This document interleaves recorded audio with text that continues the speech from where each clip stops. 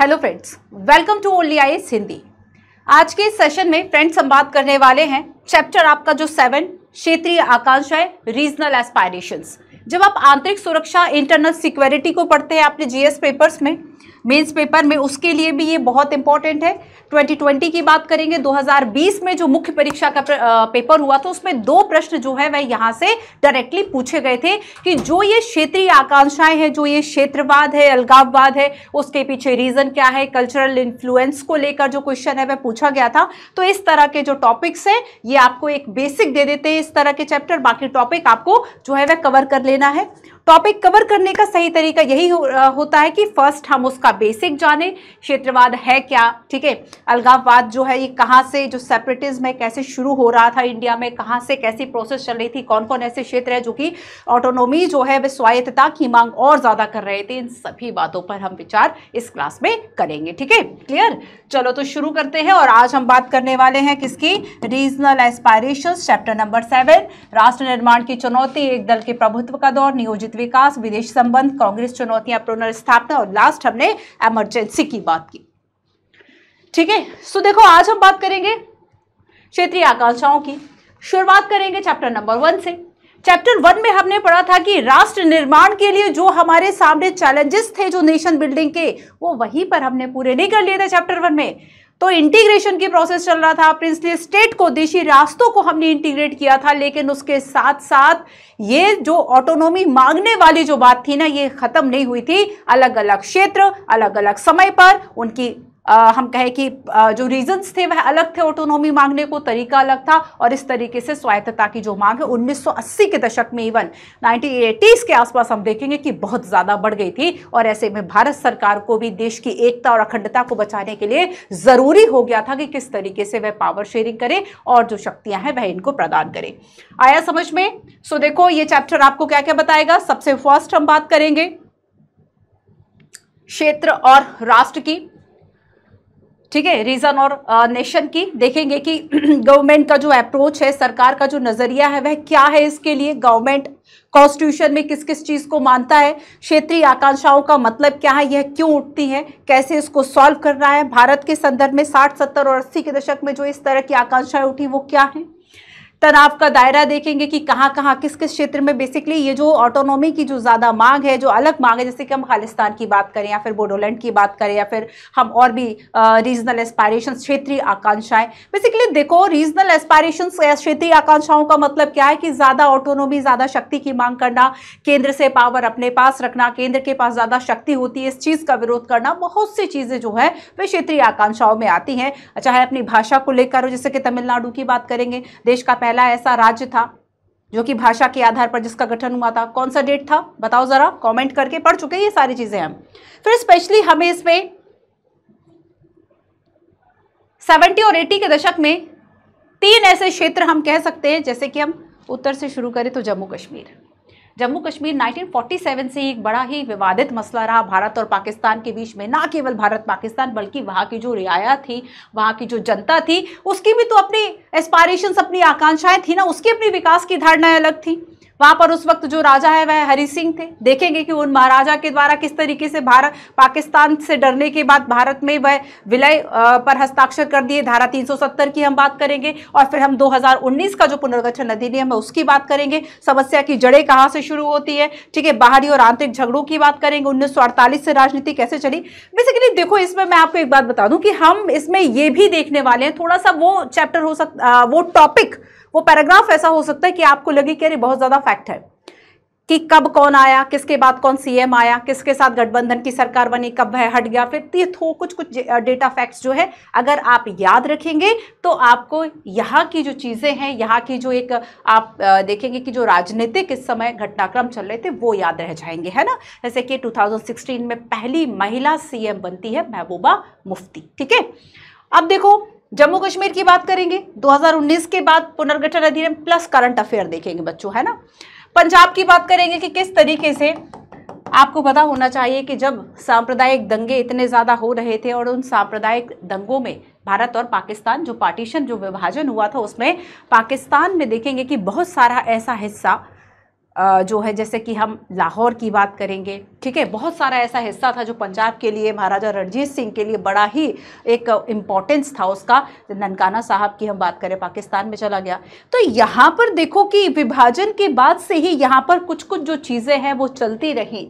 राजनीतिक संदर्भ क्या था? यहाँ पे कौन सी ऐसी पॉलिटिकल पार्टी थी जो कि अलग होने की मांग कर रही थी? उनकी कब कब कौन कौन सी मांगे मानी गई? कब जो है वह समझौता हुआ, ठीक है? इसमें हम देखेंगे हिंसा के चक्र में हम इंदिरा गांधी जी की बात करेंगे। इंदिरा गांधी जी फिर फिर हम सिख दंगों की बात करेंगे, है ना? और फिर हम बात करेंगे शांति की और इसमें राजीव गांधी की भूमिका आ जाती है। इंदिरा गांधी जी की जब हत्या कर दी गई थी, ऑपरेशन ब्लू स्टार के बाद। तो ये सारी घटनाएँ हम इसमें देखेंगे। और फिर राजीव गांधी और जो वहाँ पर एक समझौता हुआ था, जिसे कि पंजाब समझौते के नाम से जाना जाता है, उसके बाद शांति। लेकिन अभी भी हम देखेंगे कि एक धर्मनिरपेक्ष थोड़ा सा अपनाने की कोशिश की जा रही है स्टेट में, पर ज़्यादातर आपको सिख बहुसंख्यक और थोड़ा सा एक डोमिनेंस जो है वह पंजाब में देखने को मिलता है।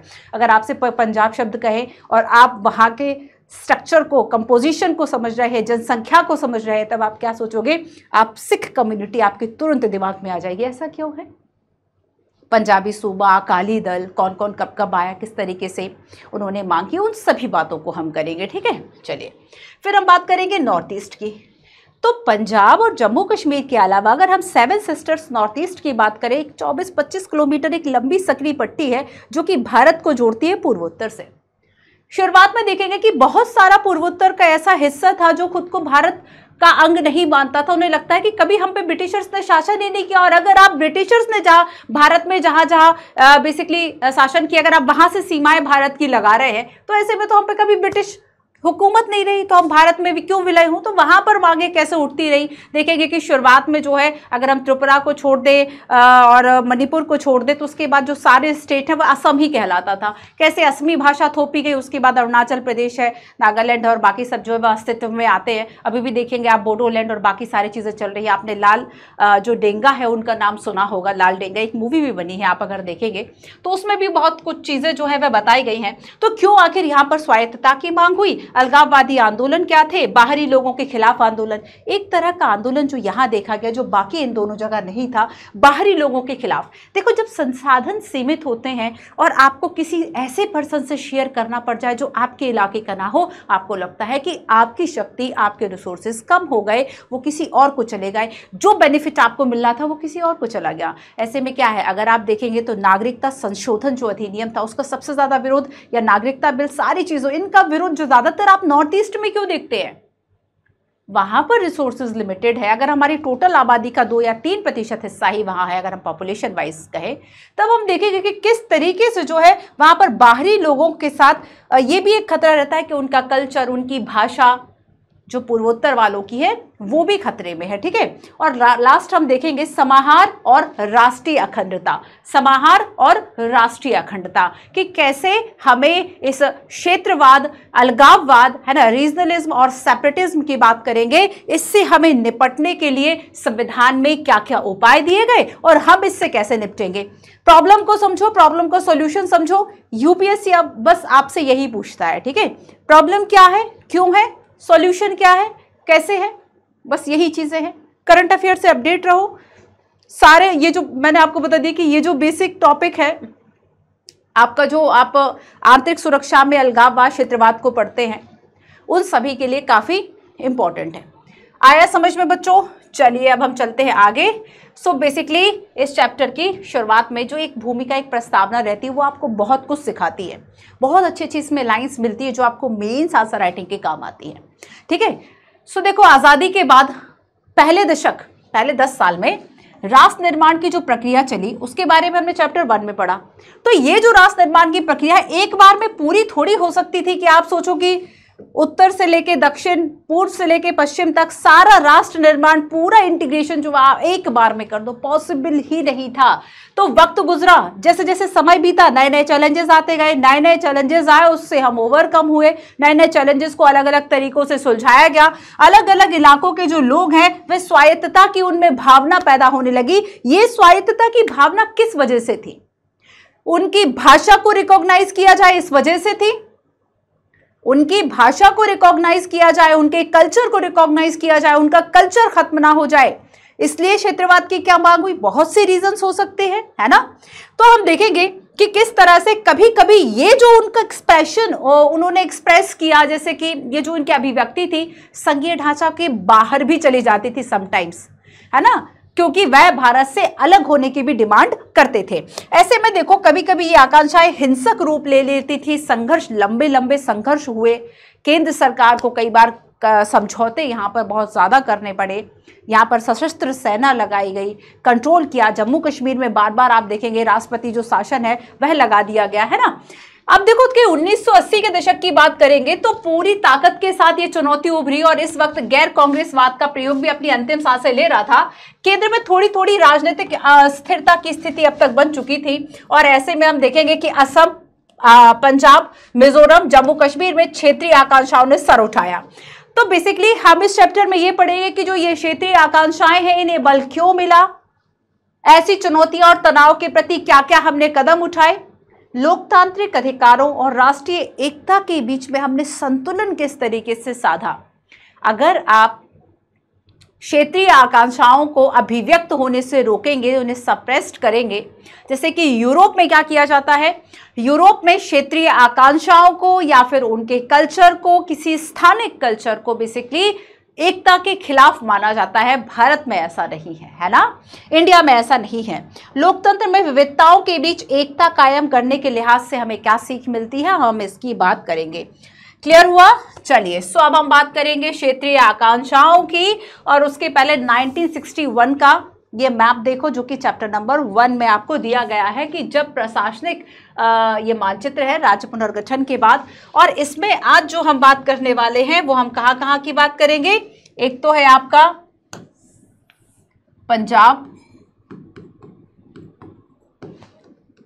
जम्मू कश्मीर,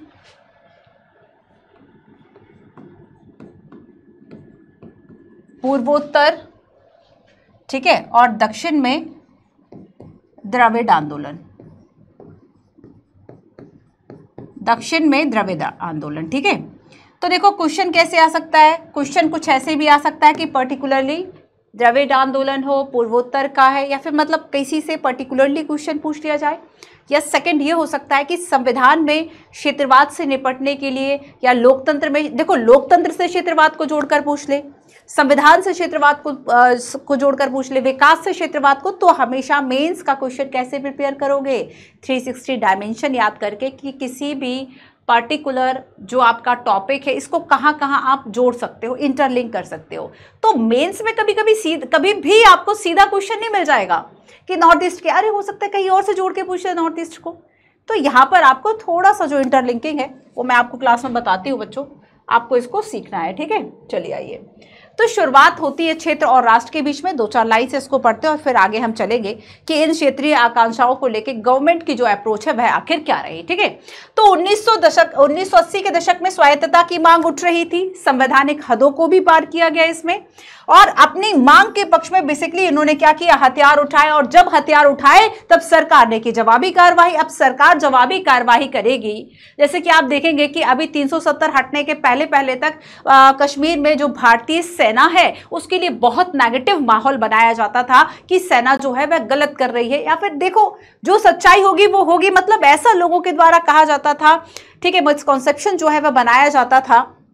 जवाबी कार्रवाई तो सरकार करेगी सेना करेगी और जब ये करेगी तो अलगाववाद की भावना और पनपेगी। ठीक उसी तरह की बात है कि जब आप ऐसी टीन एज में होंगे आप मान लीजिए आप 18, 90, 20 आप इस तरह के एज में हैं और आप विद्रोही तेवर आपके हो रहे हैं ठीक है?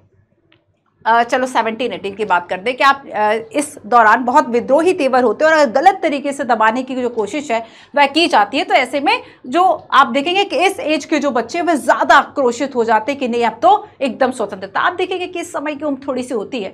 अब वैसे ही क्या हुआ कि जिस वक्त जवाबी कार्यवाही की गई, तब जाके जो स्वायत्तता की मांग है, जो ऑटोनॉमी की मांग है, अधिकारों की मांग है, ये और भी ज़्यादा बढ़ने लगती है, ठीक है?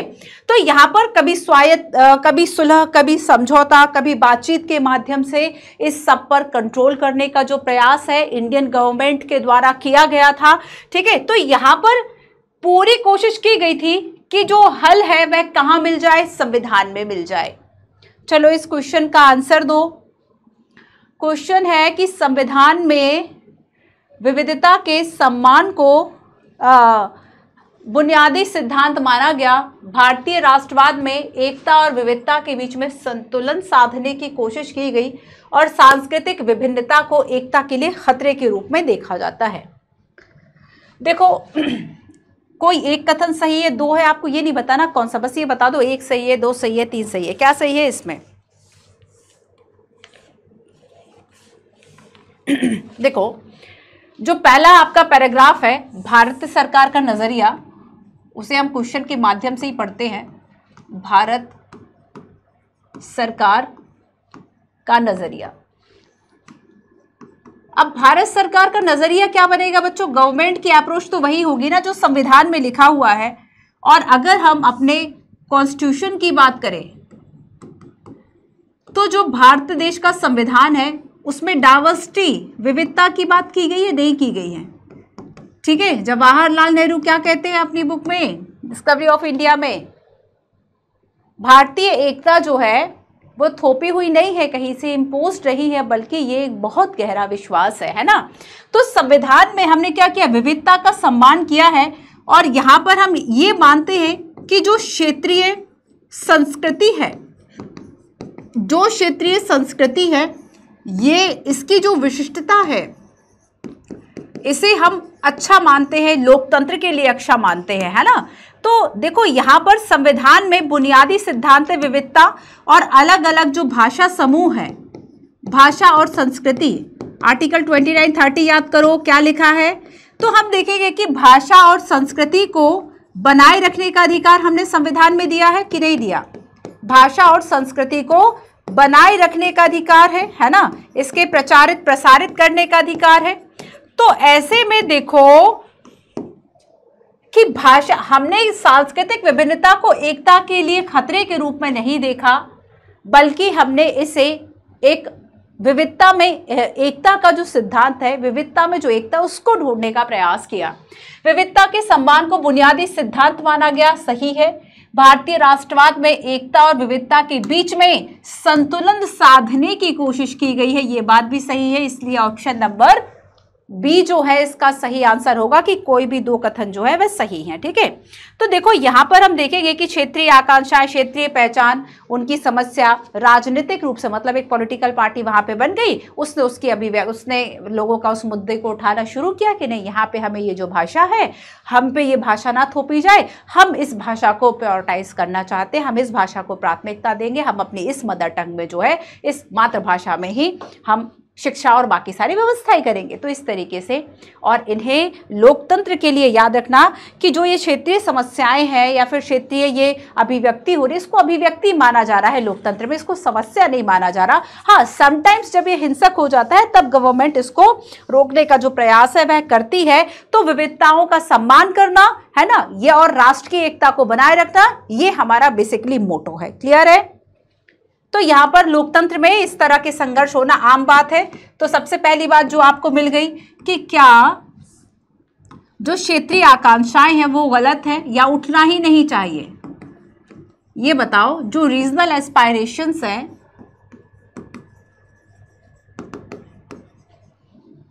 जो क्षेत्रीय आकांक्षाएँ हैं क्या क्षेत्रीय आकांक्षाएँ उठनी नहीं चाहिए? बिल्कुल उठनी चाहिए ना। मतलब लोकतंत्र में लोकतांत्रिक राजनीति का एक अंग है। हाँ इन्हें संविधान के अनुसार सुलझाने की जो कोशिश है, वह सरकार को करनी चाहिए। चलो, अब आगे हम चलेंगे और यहाँ पे हम बात करेंगे तनाव की, ठीक है? जम्मू कश्मीर की बात करने के पहले थोड़ा सा हम ये जो रीजनल एस्पायरेशंस क्षेत्रीय आकांक्षाएँ जो हैं कब कब तनाव का रूप ले लिया। क्षेत्रीय आकांक्षाओं के कारण कब कब तनाव का रूप हुआ, इसकी हम बात करेंगे। क्षेत्रीय आकांक्षाओं के कारण तनाव, ठीक है? चलो। देखो, सबसे पहले तो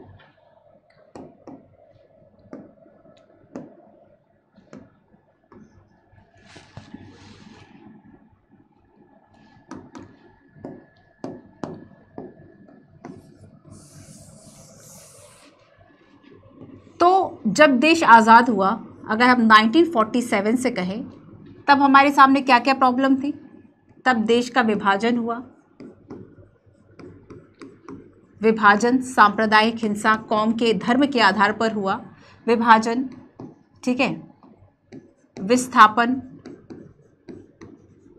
कितने लाखों लोग जो हैं, वह अपने ही देश में रहकर विदेशी हो गए थे बेसिकली तो यहाँ पर देश का विभाजन, विस्थापन रियासतों का विलय, पुनर्गठन, ये सारी चीज़ें हमने देखी। विस्थापन, रियासतों का विलय, रियासतों का विलय, पुनर्गठन, ये सब पढ़ चुके हम, है ना? राज्यों का पुनर्गठन। तो ये सारी जो प्रक्रिया है 47 में हमें इन सभी चैलेंजेस का जो सामना है, वह करना ही था। आज़ादी के बाद देखो कि हमारे सामने जो है, वह कौन कौन से आखिर जो मसले थे। तो आज़ादी के बाद कश्मीर, भारत के और पाकिस्तान के बीच में कई बार जो है वह संयुक्त राष्ट्र यूएन की मध्यस्थता के द्वारा कश्मीर का जो मामला है उसको सुलझाया गया। 1948 की बात हम करेंगे तो हम देखेंगे कि कश्मीर मामला बेसिकली बड़ा ही विवादास्पद रहा। कश्मीर की जो ज़्यादातर आबादी वह मुस्लिम थी, इसलिए पाकिस्तान मानता था कि ये पाकिस्तान का हिस्सा है, वहाँ की जनता ऐसा नहीं मानती थी। ठीक है? तो आज़ादी के बाद कश्मीर जो मामला है, वह भारत और पाकिस्तान के बीच में एक विवाद का मुद्दा रहा। इसके अलावा हम देखेंगे कि ये जो मामला था, कश्मीर मामला, ये केवल भारत और पाकिस्तान नहीं। तो ये भारत, पाकिस्तान व वहाँ के जो लोग थे ना, जो उस जगह पर रह रहे थे तो वो उनकी क्षेत्रीय जो राजनीतिक आकांक्षाएँ थी, क्षेत्रीय राजनीतिक आकांक्षाओं का भी मामला था, ठीक है? अब ऐसे ही देखो, इसके बाद हम देखेंगे कि पूर्वोत्तर का कुछ भाग था।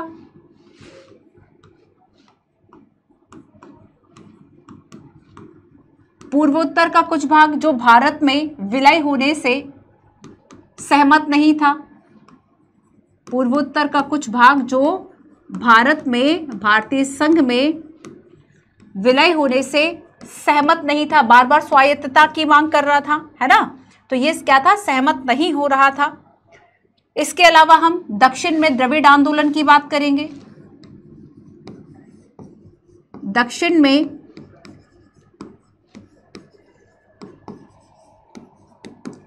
द्राविड आंदोलन, ठीक है? इन सब की हम बात करेंगे। अच्छा देखो, आप इसमें ना एक शब्द बार बार सुनेंगे। जैसे कि अलगाववाद, क्या है ये शब्द मैं आपको बता देती हूँ, ठीक है? अगर हम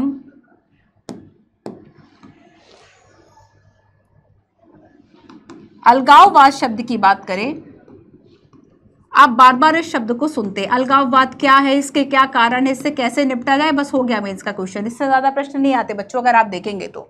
अलगाववाद क्योंकि सीधा सीधा मेंस में अलगाववाद, क्षेत्रवाद, ये सभी जो है वह लिखा हुआ है है ना? तो आपको ये सारे जो टॉपिक्स है वह कर लेने हैं। तो यहाँ पर हम सेपरेटिज्म की बात करें। अलगाववाद जैसे कि नाम से समझ में आ रहा है, अलग होने की भावना, है ना? अलगाववाद क्या है? जैसे कि आप अलग होना चाहते हैं तो जब क्या होता है कि जब कोई क्षेत्र जो है, जब कोई क्षेत्र या राज्य अलग होने की बात करें, ठीक है? अलग प्रांत या फिर अलग राष्ट्र की मांग करें। सो so बेसिकली ये पॉलिटिकल डिसइंटीग्रेशन का रूप भी हो सकता है मतलब राजनीतिक रूप से अलग हो जाना कि नहीं, अब केंद्र का या भारत का हम पर नियंत्रण नहीं रहेगा। तो राजनीतिक रूप से जो है, एक तरीके से क्या हो जाना, पृथक हो जाना, ये हो गया। या फिर हम ये कह सकते हैं कि कुछ जो स्थानीय पहचान है, ठीक है, स्थानीय या जातीय पहचान, स्थानीय या जातीय पहचान जब आपकी राष्ट्रीय पहचान पर हावी हो जाए, ठीक है, ये हावी हो जाए और यहाँ से आप अलग होने का सोचो। आप एक अलग राष्ट्र, अलग राज्य की मांग करो डिमांड फॉर सेपरेट स्टेट और ये संस्कृति और सांस्कृतिक और भाषा के आधार पर ऐसा हो सकता है। सांस्कृतिक व भाषा, इसका आधार हो सकता है, नहीं हो सकता? जैसे तमिलनाडु ने कहा कि नहीं भाई, हमें तो इस भाषा के आधार पर जो है आप अलग राज्य की मांग कर रहा था वो, है ना? तो यहाँ पर देखो कि जैसे कि भाषा के आधार पर आंध्र प्रदेश है, कर्नाटका है, पंजाब है, हरियाणा है। पंजाब, हरियाणा भी इवन है ना? पंजाब, हरियाणा है, दक्षिण में इवन अगर हम भाषा की बात करें तो जो दक्षिण है उसमें हिंदी को ऑफिशियल लैंग्वेज बनाने का जो विरोध है, वह किया गया था। देखो प्रॉपर तरीके से अगर हम संविधान की बात करें तो संविधान में तो भाषा को कुछ ऐसे सुलझाया गया था कि 1965 तक हम इंग्लिश का यूज़ करेंगे और उसके बाद हम प्रॉपर जो है, वह हिंदी का यूज़ करने लगेंगे। लेकिन जब देखा कि साउथ के जो स्टेट थे, उन्होंने बहुत ज़्यादा अग्रेसिवली जो है इसका विरोध किया था और ऐसे में इंग्लिश जो है उसको कंटिन्यू करना पड़ा, है ना? इंग्लिश को जो है वह कंटिन्यू करना पड़ा उसके बाद हिंदी और इंग्लिश जो है वह दोनों को बराबर रूप से रखा गया। इसके पहले तक हम देखेंगे कि जो सारे काम है, ज़्यादातर स्पेशली जब हम कोर्ट की बात करें तो ज़्यादातर इंग्लिश में ही पूरे काम जो है इंग्लिश में होते थे, हिंदी में नहीं होते थे। तो सारा जो ढांचा है बेसिकली वह इंग्लिश के अकॉर्डिंगली ढल चुका था और ऐसे में हिंदी को आगे बढ़ाने का जो केंद्र सरकार का मुद्दा था, इसने क्या किया? अलगाववाद और ये सारी भावना। अब जैसे कि हम पूर्वोत्तर की बात करेंगे तो उसमें भी भाषा की बात थी कि पहले जो है, अरुणाचल प्रदेश है नागालैंड है है ना, मिजोरम, ये सब असम भी इसको, सारे को असम ही कहा जाता था। ये तो बाद में अलग होंगे, सेवेंटी के बाद। इन सब पे असमी भाषा जब असम सरकार थोपने लगी तो इन सबने अलग अलग स्वायत्त जो प्रांत थे उसकी मांग की तो भाषा एक बड़ा मुद्दा थी। है ना कि आज आपको मान लीजिए इंग्लिश नहीं आ रही है। अब आप कहो कि बिहार और यूपी जो है, ठीक है पूरी तरीके से आप इस पर इंग्लिश थोप दो, आपको क्या लग रहा है? कि वहाँ के जो लोग हैं, वे मान जाएँगे आसानी से या फिर आंदोलन करेंगे डेफिनेटली करेंगे, है ना? तो बस यही सारी जो चीज़ें हैं कि भाषा उसमें एक बड़ा कारण है और भाषा के आधार पर चाहे कर्नाटक हो, आंध्रा हो, महाराष्ट्र, गुजरात हो गुजरात हो, पंजाब, हरियाणा, ये सब अलग हुए। अब हम शुरू करते हैं जम्मू कश्मीर से। तो आप एक ओवरऑल सिनारियो समझ गए बच्चों, है ना? रीजनल एस्पायरेशन क्या क्या हमें पढ़ना है? पहली बात हमारी हो गई, अब दूसरी बात अब हम किसकी करते हैं? जम्मू कश्मीर की करते हैं। इसे समझने की कोशिश करते हैं। जम्मू कश्मीर ठीक है? देखो। जम्मू कश्मीर तो शुरुआत में हम देखेंगे 370 हम पढ़ चुके हैं। आर्टिकल 370 क्या है? 370 जो है, एक स्पेशल स्टेटस की बात करता है। विशेष दर्जे की बात करता है। जैसे कि ये विशेष दर्जा जम्मू कश्मीर को दिया गया था। विशेष राज्य का दर्जा है ना? और इसके अंतर्गत जम्मू कश्मीर का अपना संविधान था। विधानसभा का कार्यकाल छः वर्ष था, अपना झंडा था। अपनी दंड संहिता थी, जैसे कि भारतीय दंड संहिता आईपीसी पूरे भारत में लागू थी तो जम्मू कश्मीर में शायद रणधीर दंड संहिता थी, है ना? देख लीजिएगा एक बार। तो यहाँ पर क्या था कि इसको स्पेशल स्टेटस था, बहुत सारी ऑटोनोमी थी। इसकी शुरुआत होती है 1947 से। 1947 से हम देखेंगे कि किस तरीके से कश्मीर की अगर हम बात करेंगे तो ये एक रियासत हुआ करती थी। ठीक है? और इस रियासत में राजा थे महाराजा हरी सिंह। महाराजा हरी सिंह, ठीक है? इसकी कहानी ऐसी है बच्चों, इस पूरे मुद्दे की कहानी, कि जब पाकिस्तान ने क्या किया, ये सोचा कि ज़्यादा जो इसकी आबादी है, वह मुस्लिम है, मुस्लिम बहुसंख्य इसलिए ये पाकिस्तान का हिस्सा है टेक्निकली लेकिन वहाँ की जनता ऐसा नहीं मान रही थी, उनका अपना मुद्दा था कि वह कश्मीरियत है, वह कश्मीरी है। वो भारत या पाकिस्तान? देखो, तीन आप सभी को बताया कि देशी रियासतों के सामने प्रिंसली स्टेट के सामने बेसिकली तीन ऑप्शंस थे। या तो भारत में शामिल होना, या तो पाकिस्तान में शामिल होना, या इंडिपेंडेंट रहना, स्वतंत्र रहना। कश्मीर ने, कश्मीर के जो राजा थे, उन्होंने ऑप्शन चुना था स्वतंत्र रहना इंडिपेंडेंट रहना। और जब उन्होंने स्वतंत्र रहने का इतनी आसान था कि स्वतंत्रता बड़ी महँगी चीज़ है, इतनी आसानी से नहीं मिलती। ठीक है? तो चलो। हम देखेंगे कि शुरू से जम्मू कश्मीर को आगे की कहानी बाद में सुनेंगे, राजा और विलय कैसे हुए। पहले ये देखो, इसकी हम थोड़ा सा कंपोजिशन जो पॉपुलेशन कंपोजिशन जनसंख्या संरचना, उसको समझते हैं। तो देखो, यहाँ पे क्या क्या चल रहा था? जम्मू कश्मीर में हिंसा है, सीमा पार आतंकवाद है। अगर हम कहें तो सबसे जो शांति प्रिय देश है, पाकिस्तान की बात करें तो सीमा पार आतंकवाद का जो मुद्दा है, कश्मीर में हमेशा बना रहा। कश्मीर में हमेशा खतरा रहा पाकिस्तान से आतंकवाद का। हमेशा है ना कितनी घटनाएँ हुई। राजनीतिक अस्थिरता जो है वह झेलनी पड़ी। आंतरिक और बाहरी प्रभाव इसके सामने आए कई लोग मारे गए। और कश्मीरी पंडितों का पलायन आपने एक मूवी देखी हो? मूवी का नेम याद नहीं आ रहा मुझे। है ना तो आप देखेंगे कि किस तरीके से वहाँ पे जो कश्मीरी पंडित थे उनको वहाँ से भगाया गया। सो so, जम्मू कश्मीर की बेसिकली सामाजिक और राजनीतिक जो क्षेत्र है वह तीन है। जम्मू कश्मीर और लद्दाख। आप सामान्य रूप से हम क्या क्या पढ़ लेते हैं? सामान्य रूप से हम कहते हैं जम्मू कश्मीर। लेकिन इसके तीन सामाजिक और राजनीतिक क्षेत्र हैं और इनकी जो सामाजिक संरचना है, जो धर्म के आधार पर जनसंख्या जो रहती है, उसका कंपोजिशन बड़ा टिपिकल सा है। सो जम्मू है, कश्मीर है और लद्दाख है, ठीक है? ये तीन क्षेत्र हैं। अब देखो, जम्मू की बात करेंगे तो ये छोटी पहाड़ियाँ और मैदानी भाग है और यहाँ पर हिंदू रहेंगे ज़्यादातर। ज़्यादा आप देखेंगे कि मुख्य रूप से हिंदू हैं। लेकिन हाँ ऐसा नहीं है कि मुसलमान, सिख और बाकी धर्मों के अनुयायी नहीं है, वो भी हैं कुछ कुछ संख्या में। ठीक है, यहाँ पर हम देखेंगे कश्मीर की बात करेंगे तो मुख्य क्षेत्र जो है कश्मीर का वह कश्मीर घाटी, जहाँ पर जेफ्रॉन की खेती होती। क्या है जेफ्रॉन? तो कश्मीर की घाटी और यहाँ पर जो है कश्मीरी मुसलमान जो है वह उनकी संख्या यहाँ पे ज़्यादा है। बाकी हिंदू, सिख, बौद्ध और अन्य भी। लद्दाख की बात करेंगे तो लद्दाख जो है वो आपका हिली एरिया माउंटेनियस एरिया है।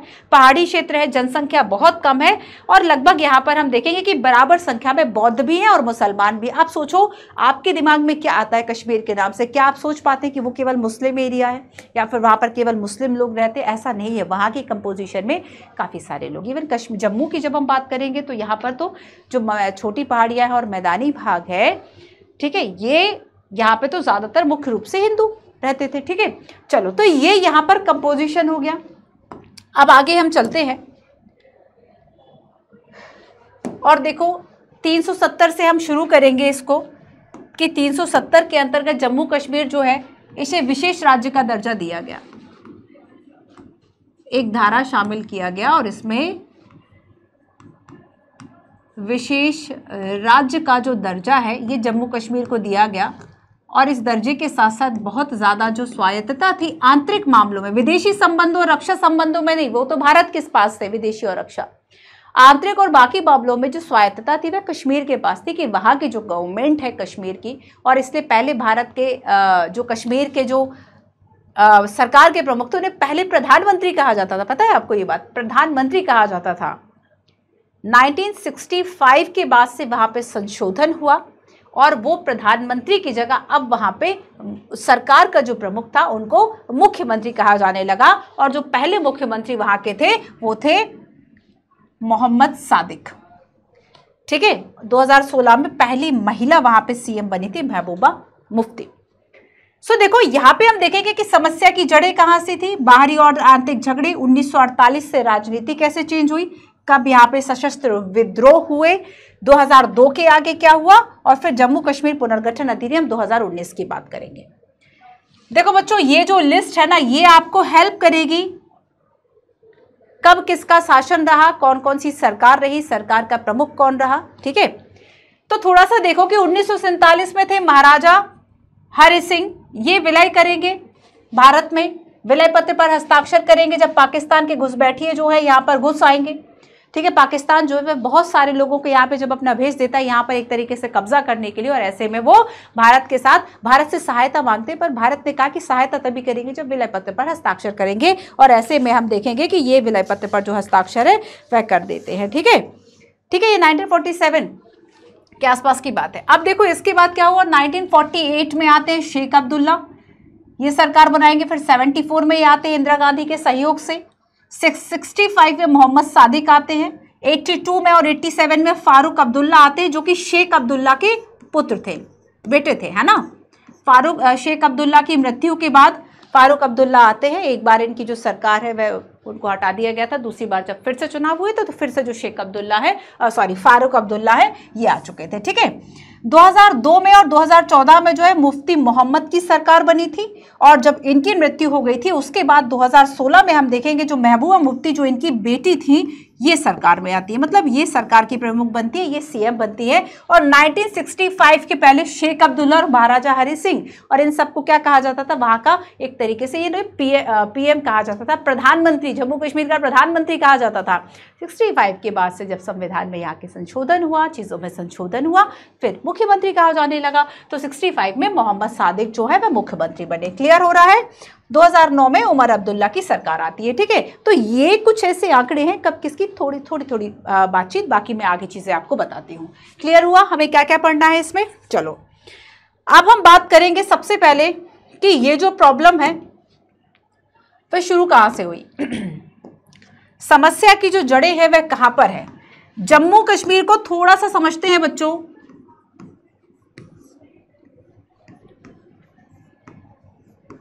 जम्मू कश्मीर। ठीक है? ये जो प्रॉब्लम है, ये शुरू कहाँ से हुई? सबसे पहले हम बात करेंगे किसकी? समस्या की। चलो। यहाँ पे समस्या क्या थी? चैलेंजेस जो हैं, वह कहाँ थे और कहाँ से शुरू हुए? तो सबसे पहली बात तो ये है कि ये थी एक जम्मू कश्मीर जो है, वह एक राजसी रियासत थी। राजा की रियासत, राजसी रियासत थी। महाराजा हरि सिंह है ना? कौन थे यहाँ पे राजा? महाराजा हरि सिंह थे।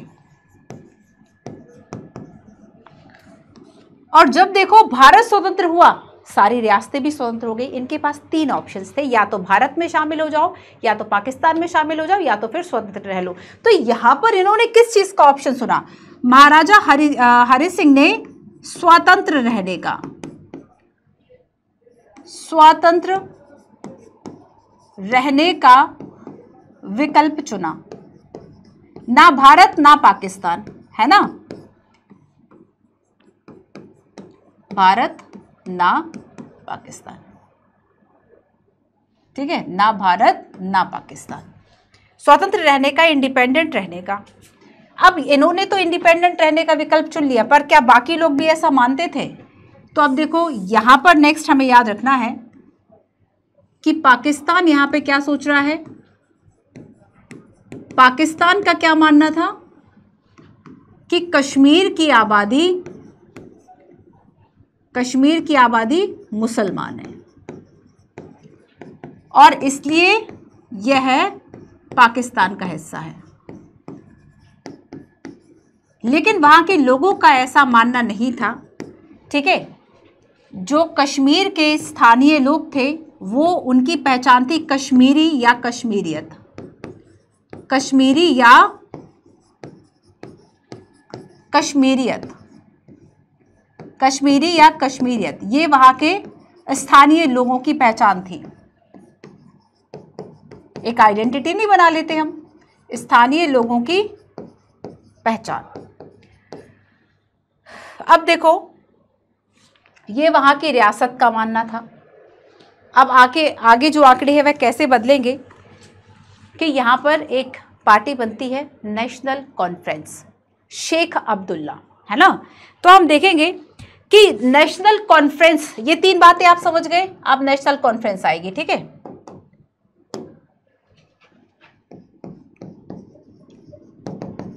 National conference party. और यहाँ पर शेख अब्दुल्ला के नेतृत्व में बनती है। ये 1948 की बात है। और इनका मेन मानना क्या था? महाराजा से छुटकारा। महाराजा से बेसिकली इनको हटा देना, है ना?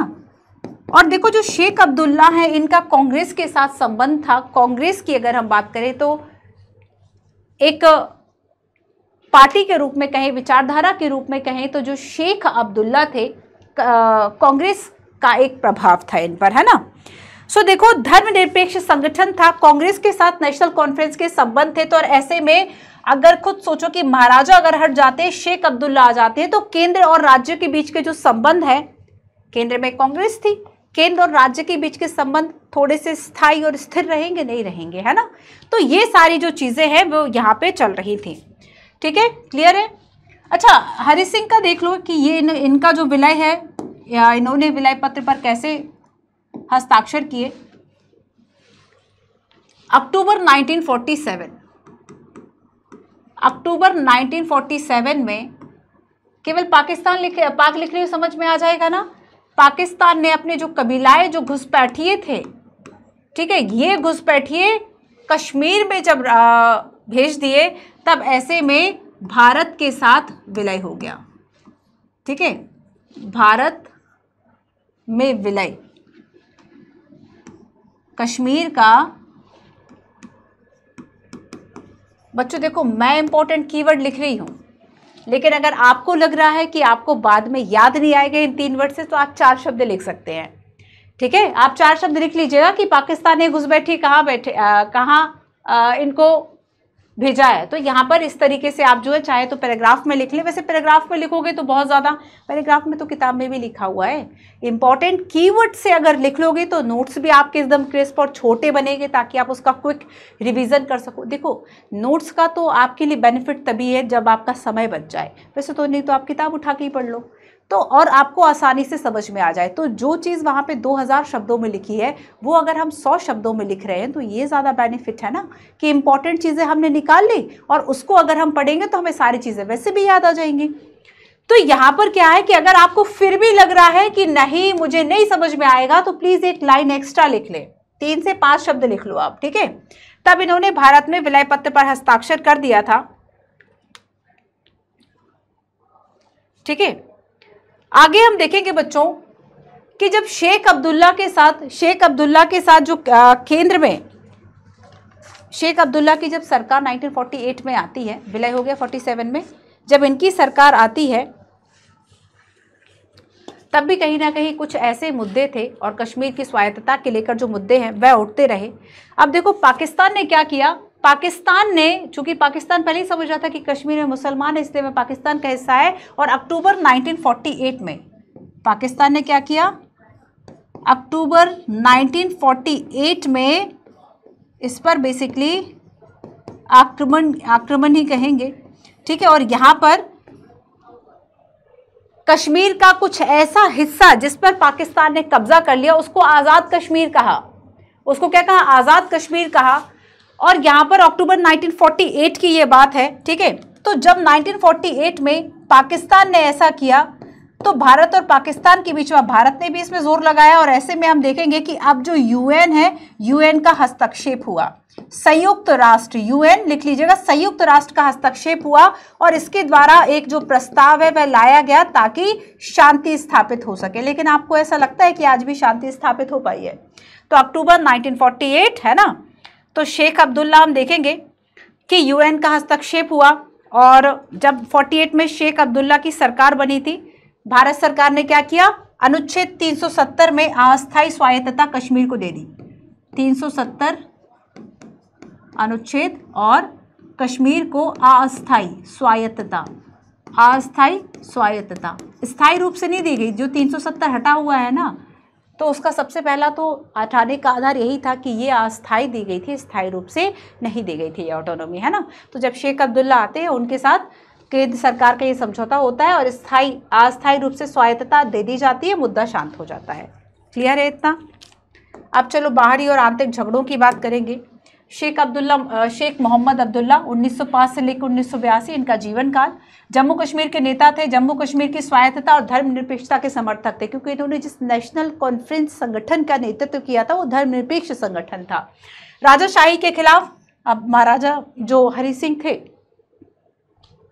है ना, उनसे छुटकारे की बात तो कही थी। धर्मनिरपेक्षता के आधार पर पाकिस्तान का विरोध किया और नेशनल कॉन्फ्रेंस के नेता थे भारत में विलय के बाद जम्मू कश्मीर के प्रधानमंत्री बने। देखो, यहाँ पे ऑफिशियली जो है, प्रधानमंत्री शब्द जो है 1947 में यूज़ किया जा रहा है, ठीक है? 65 के बाद मुख्यमंत्री शब्द यूज़ किया जाएगा। और भारत सरकार ने बच्चों, इनकी बर्खास्तगी कर दी थी और इन्हें जेल में डाल दिया था। और ये समय था 53 से लेकर 64 तक। और इंदिरा गांधी के साथ जब समझौता हुआ था, उसके बाद फिर ये राज्य के मुख्यमंत्री पद पर आरूढ़ हुए थे। ये 74 की बात होगी। 65 से प्रधानमंत्री मुख्यमंत्री हो गया। समझे इस बात को? चलिए।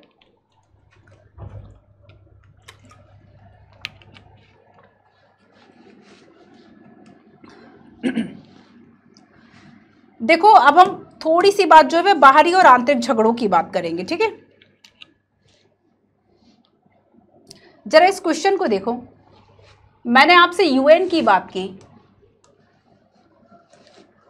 संयुक्त राष्ट्र के 1948 के प्रस्ताव में कौन सी बातें शामिल थी?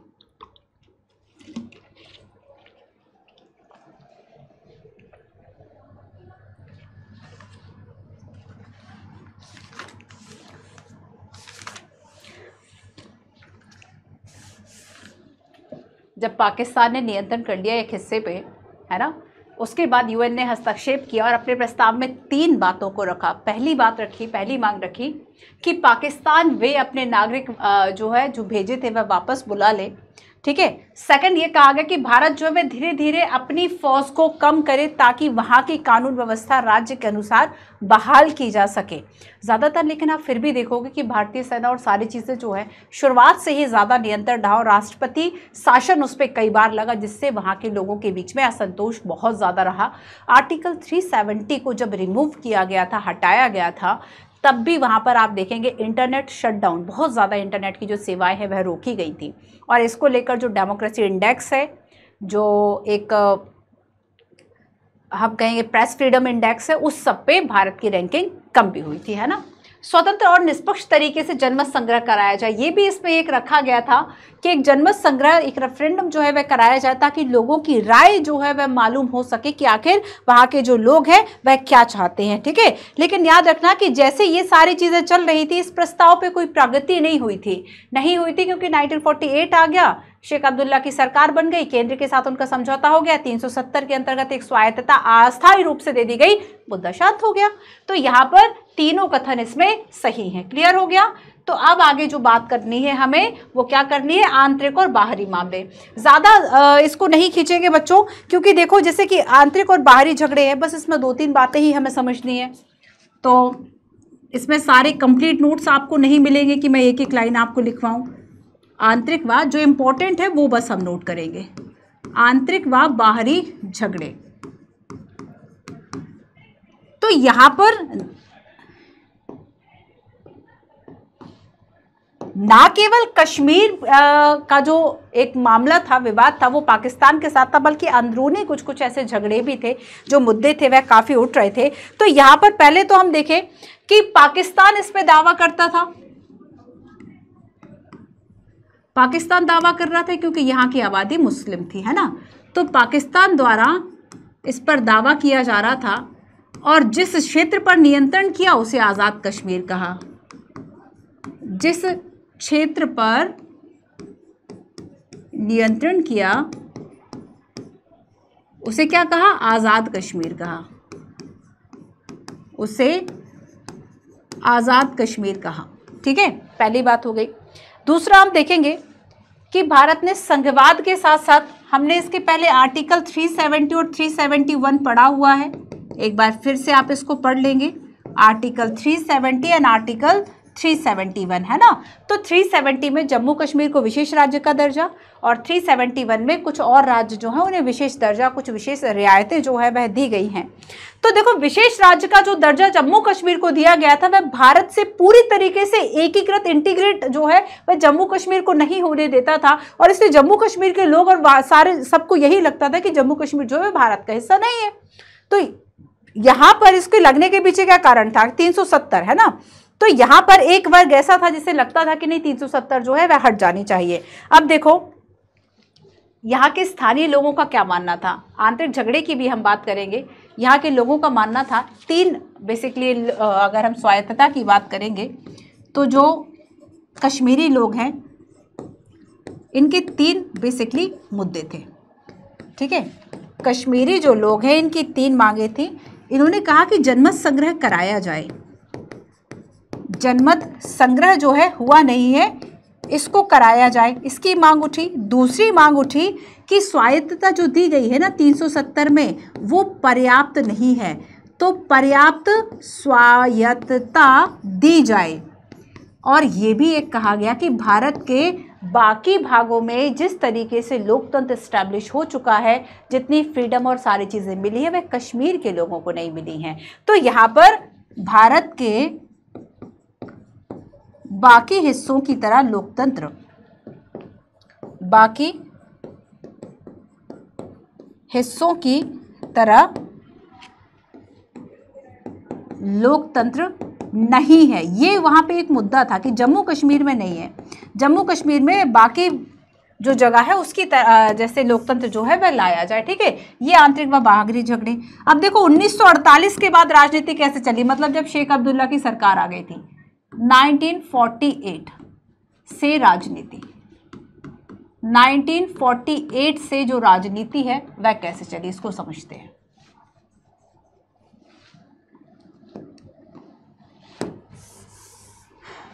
तो यहाँ पर जो शेख अब्दुल्ला थे,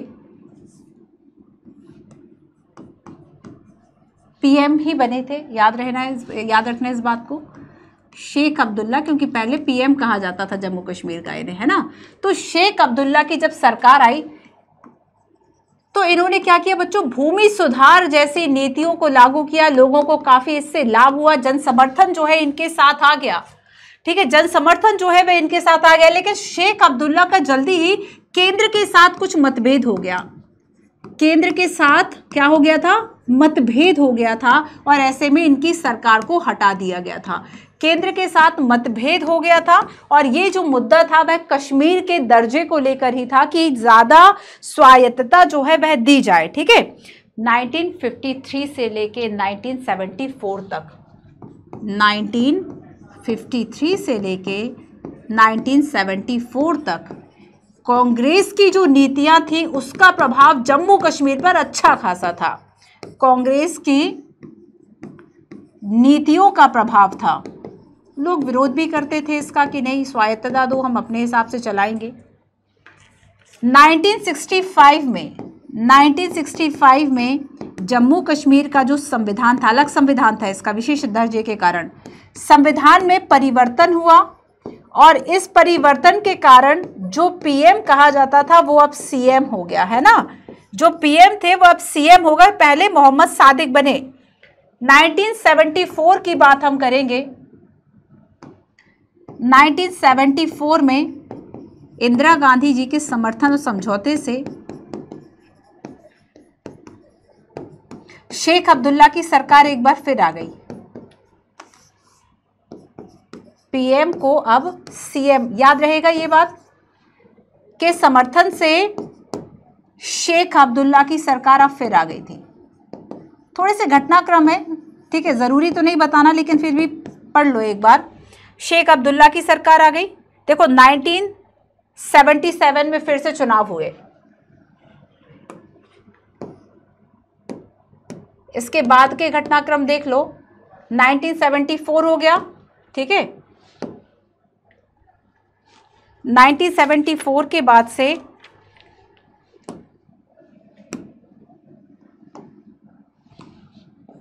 1977 में जम्मू कश्मीर में फिर से चुनाव हुए। ठीक है, और इसमें शेख अब्दुल्ला को फिर से बहुमत मिल गया। 1982 में शेख अब्दुल्ला की मृत्यु हो गई, और इसके बाद इनके जो पुत्र थे, फारूक अब्दुल्ला। फारूक अब्दुल्ला, ठीक है, ये जो है, वह सरकार में आ गए, लेकिन हम देखेंगे किस तरीके से इनसे जब समर्थन खींचा गया तो यहाँ से इनकी सरकार जो है, वह हट गई, लेकिन जब नेक्स्ट चुनाव हुए, वह फिर से अब जीत गए थे। तो नेक्स्ट हम देखेंगे अब सशस्त्र विद्रोह कैसे हुआ? ये तो आंतरिक झगड़े हो गए।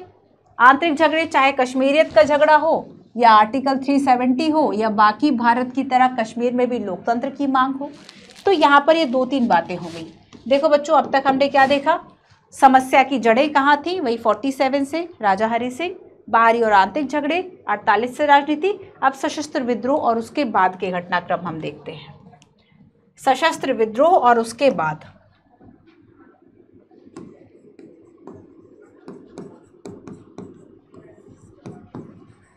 सशस्त्र विद्रोह और उसके बाद। ठीक है? वही है कि थोड़ा सा तोड़ तोड़ के दस दस बीस बीस साल का जो घटनाक्रम है, उन सभी को यहाँ पे बताया हुआ है। अब देखो, सशस्त्र विद्रोह कैसे शुरू होगा यहाँ पर? कि 19 1987 में विधानसभा के यहाँ पे चुनाव हुए। 77 में हुए थे, है ना? 77 और यहाँ पर अब हम 1987 की बात कर रहे हैं। 1987 में विधानसभा के चुनाव हुए, और अब यहाँ पर जो सरकार बनती है यहाँ पर जो सरकार बनी, वह नेशनल कॉन्फ्रेंस और कांग्रेस के गठबंधन की सरकार बनती है। फारूक अब्दुल्ला यहाँ पर अब सीएम बनते हैं, ठीक है? फारूक अब्दुल्ला जो है, वह सीएम बनते हैं। लेकिन देखो, ये माना जाता है कि फारूक अब्दुल्ला इसमें जीत तो गए। फारूक अब्दुल्ला, समझ जाओगे ना, फारूक अब्दुल्ला जो है, बच्चों, यहाँ पर जीत तो जाते हैं, लेकिन ये माना जाता है कि यहाँ पर जो चुनाव हुए हैं, उसमें बहुत ही गड़बड़ी हुई है। ठीक है, और कहीं ना कहीं केंद्र का हस्तक्षेप इसमें गलत तरीके से देखा जा रहा था। और अब देखो, जब लोगों के अंदर आक्रोश बढ़ता रहा तो 1989 से यहाँ पर उग्रवादी आंदोलन जो है, वह शुरू हो गए। उग्रवादी आंदोलन। हिंसक आंदोलन, सशस्त्र आंदोलन जो है, वह शुरू हो गए और ऐसे में जब भारत सरकार और भारतीय सेना यहाँ पर तैनात हो गई और सेना के द्वारा जवाबी कार्रवाई की गई, ऐसे में अलगाववाद और कश्मीर को एक पृथक राष्ट्र बनाने की जो मांग है, वह शुरू हो जाती है। ठीक है? क्लियर है? क्लियर है इतना? ठीक है? चलो, अब देखो यहाँ पर इसके बाद चुनाव होते हैं 1996 में। अगले चुनाव जो हुए 1996 में हुए, ठीक है? ये कुछ घटनाक्रम है। अब आगे देखो, सशस्त्र विद्रोह हो गया। अब आगे हम 2002 के बाद की राजनीति की बात करेंगे। 2002 और इसके आगे। 2002 ठीक है? हमने देखा कि गठबंधन के बाद जो ए मुफ्ती मोहम्मद थे, ये तीन वर्ष के लिए सरकार के मुखिया रहे, लेकिन उसके बाद जो गुलाम नबी आज़ाद, आपने शायद नाम सुना हो, गुलाम नबी आज़ाद जो है, ये यहाँ के मुखिया बन गए, जो जुलाई 2008 में राष्ट्रपति शासन के कारण अपना कार्यकाल पूरा नहीं कर पाए। आपको कमेंट करके बताना है कि अब तक जम्मू कश्मीर में कितने बार राष्ट्रपति शासन लग चुका है, और भारत में ऐसा कौन सा राज्य है, ऐसा कौन सा स्टेट है, जिसमें सबसे ज़्यादा बार राष्ट्रपति शासन जो है, वह लगाया गया किस आर्टिकल के अनुसार लगाया जाता है? भूलना मत ही सारी चीज़ें। सो देखो अगला चुनाव नवंबर दिसंबर 2008 में हुआ। और यहाँ पर एक मिलीजुली सरकार किसकी बनी? नेशनल कॉन्फ्रेंस और भारतीय राष्ट्रीय कांग्रेस की। और 2009 में अब आ गए उमर अब्दुल्ला। उमर अब्दुल्ला की सरकार आ, आती है ठीक है? अब देखो 2014 में नेक्स्ट चुनाव जो है 2009 के बाद कब हुए? 2014 में हुए। और हम देखेंगे कि अब यहाँ पर मुफ्ती मोहम्मद सईद के नेतृत्व में बीजेपी के साथ एक मिलीजुली सरकार आती है। मुफ्ती मोहम्मद सईद जो है सईद जो है, इनका निधन हुआ और उसके बाद 2016 में पहली जो सीएम है, वह कौन बनती है? महबूबा मुफ्ती, ठीक है? महबूबा मुफ्ती बनती हैं, लेकिन आगे देखो, ये हम कहाँ तक आ गए बच्चों? दो हज़ार सोलह से आगे उन्नीस लंबी यात्रा थी थोड़ी सी, है ना? दो हज़ार सोलह तक आ गए। अब दो हज़ार उन्नीस में जम्मू कश्मीर रीऑर्गेनाइजेशन अगर आपने बिल और वो जो एक्ट बन चुका, उसकी अगर हम बात करें, किस डेट को ये पास हुआ था, बताना ज़रा। किस डेट को ये जो बिल था, वह एक्ट में कन्वर्ट हो गया? 370 को कहा जाता था कि 370 को हटा नहीं सकते, नहीं तो जाने कितनी आतंकवादी घटनाएँ होंगी, कितना कठिन काम था। लेकिन 370 आराम से हट भी गया, सारी चीज़ें ठीक से मैनेज भी हो गई। तो 370 का जो स्पेशल स्टेटस जम्मू कश्मीर को दिया गया, वो हटा लिया गया, वापस ले लिया गया। ठीक है, पाँच अगस्त 2019 को जम्मू कश्मीर पुनर्गठन अधिनियम 2019 के द्वारा। अब ये जो 370 अनुच्छेद था, इसको समाप्त किया, विशेष राज्य का दर्जा खत्म कर दिया। और जम्मू कश्मीर जो एक विशेष राज्य था, अब उसको दो केंद्र में डिवाइड कर दिया गया, दो केंद्र शासित प्रदेश बना दिए गए, जम्मू कश्मीर और लद्दाख। क्लियर है? देखो, आपको ये थोड़ा सा टफ लग सकता है, कौन आया, कब आया, बहुत इंटरेस्ट हो तो चीज़ों को याद कर लेना अदरवाइज़ ये वाला जो पोर्शन है, आप छोड़ भी सकते हैं बच्चों, ठीक है? चलो, आगे देखो, एक क्वेश्चन बताओ जरा, ये इंपॉर्टेंट है बिकॉज़ ऑफ़ करंट अफेयर से भी जुड़ा हुआ है। जम्मू कश्मीर का पुनर्गठन अधिनियम 2019 के संबंध में निम्न पर विचार कीजिए। थ्री स्टेटमेंट है। पहला कथन आपसे कहता है कि विधानसभा के साथ जम्मू कश्मीर और केंद्र शासित प्रदेश और लद्दाख केंद्र शासित प्रदेश होगा। है ना? तो दोनों में क्या विधानसभाएँ हैं? जम्मू कश्मीर केंद्र शासित प्रदेश को राष्ट्रपति द्वारा प्रशासित किया जाएगा और इसके लिए लेफ्टिनेंट गवर्नर नामक एक प्रशासक की नियुक्ति हो जाएगी। और लद्दाख जो है राष्ट्रपति के द्वारा प्रशासित किया जाएगा। हम देखते हैं कि जो यूटीज इस पर सीधा कंट्रोल राष्ट्रपति का होता है, एक नियंत्रण रखने के लिए, है ना? एक इंटीग्रेशन एक एकता के लिए, क्योंकि यूटीज़ का बहुत हमारे लिए सामने और महत्व होता है। ऐसे में राष्ट्रपति या तो डायरेक्ट शासन करते हैं, या तो वे लेफ्टिनेंट गवर्नर के माध्यम से शासन करेंगे। क्लियर सो थर्ड है कि जम्मू और कश्मीर केंद्र शासित प्रदेश और लेह के लिए अलग अलग विधानसभा का प्रावधान है। अच्छा ये दोनों आपको एक ही जैसे लग रहे होंगे। देखो, यहाँ पर जो सेकंड स्टेटमेंट है, कोई एक कथन सही है। मैं आपको बता दूँ बच्चों कि जब हम यहाँ पर बात करेंगे जम्मू कश्मीर पुनर्गठन अधिनियम की तो इसमें विधानसभा और जो हाईकोर्ट है, वह जम्मू कश्मीर में है। और जो लद्दाख लद्दाख में विधानसभा नहीं है और जो जम्मू कश्मीर हाई कोर्ट है, ठीक है, लद्दाख के लिए जो रिडिक्शन एरिया लद्दाख के लिए अधिकारिता जो क्षेत्र है वह जम्मू कश्मीर ही माना जाएगा। क्लियर है? अब देखो, कौन शासन करेगा? तो राष्ट्रपति के द्वारा प्रशासित होंगे। कश्मीर में लेफ्टिनेंट गवर्नर होगा, लद्दाख में सीधा राष्ट्रपति के द्वारा जो है, हम देखेंगे कि लेफ्टिनेंट गवर्नर नामक एक प्रशासक की नियुक्ति की जाएगी। लद्दाख में, ठीक है? राष्ट्रपति के द्वारा ही प्रशासित है, लेफ्टिनेंट गवर्नर की नियुक्ति की जाएगी। जम्मू कश्मीर विधानसभा की हमने बात कर ली कि यहाँ पर जो टोटल है, वह कितनी सीट होंगी? 107 सीटें होंगी। और यहाँ पर जो मंत्री परिषद बनेगी विधानसभा में, पहले जम्मू कश्मीर की विधानसभा का कार्यकाल छः वर्ष हुआ करता था, बाद में इसको पाँच वर्ष कर दिया, ठीक है? तो जो मंत्री परिषद होगी, उसकी संख्या दस प्रतिशत से अधिक नहीं होगी। ठीक है, विधानसभा की कुल संख्या के दस प्रतिशत से अधिक नहीं होगी। चलिए, और उच्च न्यायालय की हम बात करेंगे तो जम्मू कश्मीर और लद्दाख का बेसिकली साझा उच्च न्यायालय है जो कि जम्मू कश्मीर में होगा। क्लियर चलिए। अच्छा विधान परिषद भी थी पहले जम्मू कश्मीर में, विधान परिषद। ठीक है, जब हम बाई कैमरल सिस्टम की बात करते हैं द्वि सदनीय विधायिका की बात करते हैं, जैसे कि केंद्र में राज्य सभा और लोकसभा है, वैसे ही राज्यों में विधानसभा और विधान परिषद। जम्मू कश्मीर में विधान परिषद हुआ करती थी, है ना? तो विधान परिषद को भंग कर दिया गया और केवल विधानसभा जो कि जम्मू कश्मीर में थी। और जैसे ही विधान परिषद भंग हुई, जो भी उसमें लंबित बिल थे, वो सभी लैप्स हो गए, खत्म हो गए। क्लियर हो गया, जम्मू कश्मीर समझ गए। जम्मू कश्मीर समझ गए बच्चों, आगे चले। जल्दी से बता दो 370 समस्या की जड़ें, बाहरी और आंतरिक झगड़े 48 की राजनीति, सशस्त्र विद्रोह 2002 और 2019 ठीक है महाराजा हरि सिंह, शेख अब्दुल्ला, मोहम्मद सईद, फारूक अब्दुल्ला, मुफ्ती मोहम्मद, उमर अब्दुल्ला और महबूबा मुफ्ती और अब 2019 ठीक है? वर्तमान में सीएम और कौन है, बताइए ज़रा। अब हम चलते हैं नेक्स्ट द्रविड़ आंदोलन पर। ये तो हमने जम्मू कश्मीर की बात की। अब हम चलते हैं थोड़ा दक्षिण भारत की तरफ़ और द्रविड़ आंदोलन।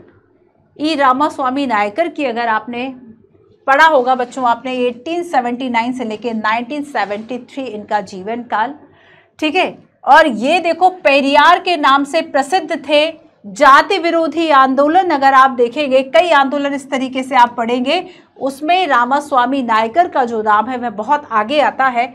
कांग्रेस कार्यकर्ता थे, आत्मसम्मान आंदोलन अगर आपने सुना हो, उसके लिए अब जाति विरोधी थे, जाति विरोधी थे तो ऐसे में ब्राह्मण विरोधी तो होंगे। तो ब्राह्मण जो विचारधारा है, ब्राह्मण विरोधी आंदोलन के इन्होंने नेतृत्व किया, जस्टिस पार्टी के कार्यकर्ता थे, द्रविड कशकम जो आप बाद में डीएमके और एडीएमके के रूप में विभाजन हो जाता है डीएमके एडीएमके सुनते हैं ना, वो यही है। द्रविड कशगम, है ना? इसकी स्थापना इन्होंने ही की थी ई रामास्वामी, जो नायकर हैं, ठीक है? जो कि पेरियार के नामा से, पेरियार के नाम से जानते हैं। अब इन्होंने देखो, उत्तर भारतीय और हिंदी का विरोध किया था। मतलब इन्होंने ये कहा था कि दक्षिण की जो संस्कृति है अब देखेंगे आपकी नॉर्थ साउथ के डिफरेंस, जो कल्चर है वह ज़्यादा बहुत डिफरेंस आपको दिखेगा। आज भी आप बच्चों साउथ की मूवीज़ देख लीजिए, आपको उसमें कल्चर दिखाई देगा। इंडियन कल्चर और सारी चीज़ें। आपको थोड़ा सा वह ज़्यादा ठीक ठाक उसका सब्जेक्ट रहता। है वहीं आप बॉलीवुड और नॉर्थ की मूवीज़ देख लीजिए, किस तरह के उनके सब्जेक्ट रहते हैं। तो यहाँ पर आप देखेंगे कि कल्चर को लेकर एक बड़ा डिफरेंस था। और री रामास्वामी जो नायकर अगर हम नायकर या पेरियार की बात करें, इनका ये मानना था कि उत्तर की जो कल्चर है, वह हम पर ना थोपा जाए, ना ही उत्तर का विकास जो है, वो हम पर थोपा जाए, ठीक है? तो यहाँ पर इन्होंने उत्तर भारतीय वर्चस्व का विरोध किया। उत्तर भारतीय लोग ब्राह्मण द्रविड़ों से अलग आ रहे हैं, इस मत का प्रतिपादन इन्होंने किया, ठीक है? क्लियर है? अब आगे चलते हैं। और दक्षिण आंदोलन का एक नारा था, उत्तर हर दिन बढ़ता जाए, दक्षिण दिन दिन घटता जाए। और इसमें बेसिकली इन्होंने ये बताया था कि किस तरीके से जो है, वो उत्तर का तो विकास हो रहा है, पर दक्षिण का विकास नहीं हो रहा है। और साथ ही साथ भारतीय राजनीति में यह आंदोलन क्षेत्रीयतावादी भावनाओं का सर्वप्रथम और सबसे प्रबल अभि प्रबल एक अभिव्यक्ति थी, है ना? कि इन्होंने ये कहा था कि जो उत्तर है सबसे पहले तो ये जान लो, द्रविड़ आंदोलन दक्षिण में, दक्षिण भारतीय जो राज्य हैं, उसमें जो आंदोलन हुए, शुरुआत में सभी राज्य शामिल थे, बाद में धीरे धीरे बाकी जो राज्य, उनकी राजनीति अलग हो गई, वह दूसरे तरीके से चलने लगे, लेकिन तमिलनाडु में अब भी, तमिलनाडु में जो ये द्रविड़ आंदोलन थे, वह बहुत ज़्यादा प्रबल रहा लास्ट तक, ठीक है? तो देखेंगे हम कि एक स्वतंत्र द्रविड़ राष्ट्र बनाने की तक मांग होने लगी थी दक्षिण में, स्वतंत्र द्रविड़ राष्ट्र बनाने की मांग तक होने लगी थी और उसके बाद कभी हम देखेंगे कि ये हिंसक नहीं हुआ ये आंदोलन। ठीक है? और यहाँ पर सार्वजनिक बहस, चुनाव मंच का इस्तेमाल किया तमिल समाज सुधारक थे ईवी रामास्वामी नायरकर, जो कि पेरियार के नाम से जाने जाते थे, इन्होंने किया। और एक संगठन था बच्चों, द्राविड कशगम, है ना? द्राविड कशगम का सूत्रपात इन्होंने किया, ब्राह्मण वर्चस्व का विरोध किया, राजनीतिक, आर्थिक, सांस्कृतिक प्रभुत्व को इन्होंने नकारा, ठीक है? उत्तर भारत के राजनीतिक, आर्थिक और सांस्कृतिक प्रभुत्व को नकारा, जो क्षेत्रीय गौरव था, जो वहाँ की संस्कृति, जो कल्चर था, उसको बढ़ावा दिया, ठीक है? लेकिन बाकी दक्षिण भारतीयों में जो राज्य थे, उसमें समर्थन नहीं मिला। उसके बाद तमिलनाडु के आसपास के जो क्षेत्र है, वहाँ पर ये सिमट कर रह गया। क्लियर वहाँ पर ये सिमट कर रह गया। चलो, आगे देखो। तो दविड कशगम पार्टी है ना, किसने स्थापना की? ई रामास्वामी नायकर और यहाँ पर जो आप ये डीएम के सुनते हैं द्रविड मुन्नेट कशगम बाद में हम देखेंगे कि ये जो है डीएम के इससे भी टूट हो जाती है और ये दो भागों में बढ़ जाता है।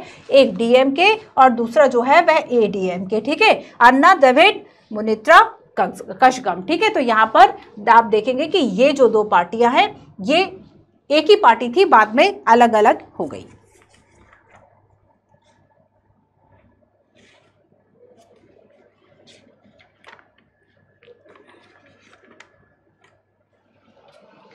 अच्छा देखो इसके कुछ दो तीन पॉइंट्स जो हैं, वह लिख लीजिए आप। जैसे कि इन्होंने हिंदी को राजभाषा बनाने का जो विरोध है, वह किया था। दो तीन मांगे थी। एक तो रेलवे स्टेशन था, जिसका कि नाम चेंज करके क्या कर दिया था?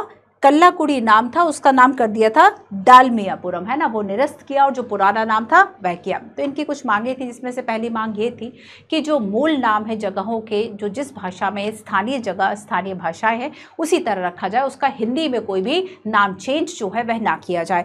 दूसरा ये था बच्चों, इसकी, इनकी मांग ये थी कि स्कूली पाठ्यक्रम में जो तमिल संस्कृति है तविट कशगम पार्टी की अगर हम बात करें, ठीक है, बाद में इनकी जो मांग थी एक तो मूल नाम बने रहे, ये मांग थी।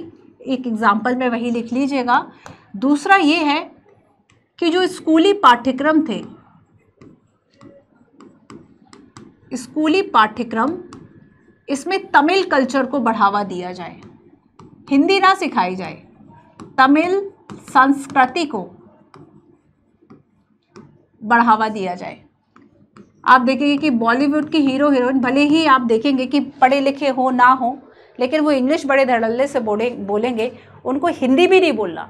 लेकिन अगर आप दक्षिण भारत के, भाई, आप देखो कल्चर वाली बात है तो सिनेमा क्या है? सिनेमा अगर हम देखेंगे, आपने एक, हिंदी हो या इंग्लिश हो टेंथ इलेवेंथ के आसपास अगर आपने ऐसे लिखा हो टेंथ में स्पेशली तो देखा होगा कि जो कल्चर जो साहित्य है, वो क्या हमारे समाज का एक आईना होता है, एक दर्पण होता है। तो देखो जो आ, सिनेमा है वो यही तो दिखा रहा है जो हमारा जैसा समाज है। आप देखेंगे कि साउथ के जो आ, और बाकी एक्ट्रेस हैं एक्टर हैं वो सब क्या अपनी भाषा में बात करते हैं ना? तो वो क्या कर रहे हैं कि अपनी संस्कृति अपनी भाषा उस चीज़ को बढ़ावा दे रहे हैं ना कि तो यहाँ पर नॉर्थ और साउथ के कल्चर में और बिहेव में आपको एक खासा डिफरेंस जो है वह देखने को मिल जाता है। तो यहाँ पर देखो कि तमिल संस्कृति के इतिहास को ज़्यादा महत्व दिया और यहाँ पर एक मांग जो ये भी रखी गई थी कि हिंदी विरोधी 1965 में 1965 ये वही समय है जब इंग्लिश को ख़त्म किया जाना था और हिंदी को आगे किया जाना था, तब ऐसे में बहुत ज़्यादा इसका विरोध किया और 1965 में हिंदी को राष्ट्रभाषा नहीं है बच्चों, राजभाषा, ध्यान रखना ऑफिशियल लैंग्वेज राजभाषा।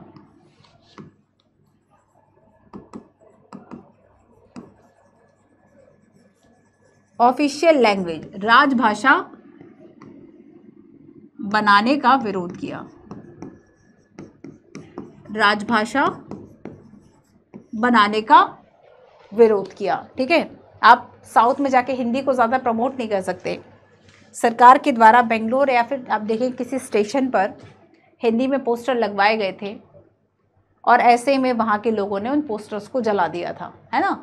तो यहाँ पर क्या था कि हिंदी का जो ठीक ठाक विरोध है इन लोगों ने किया था, ये खिलाफ थे, ब्राह्मणवादी दृष्टिकोण के खिलाफ थे।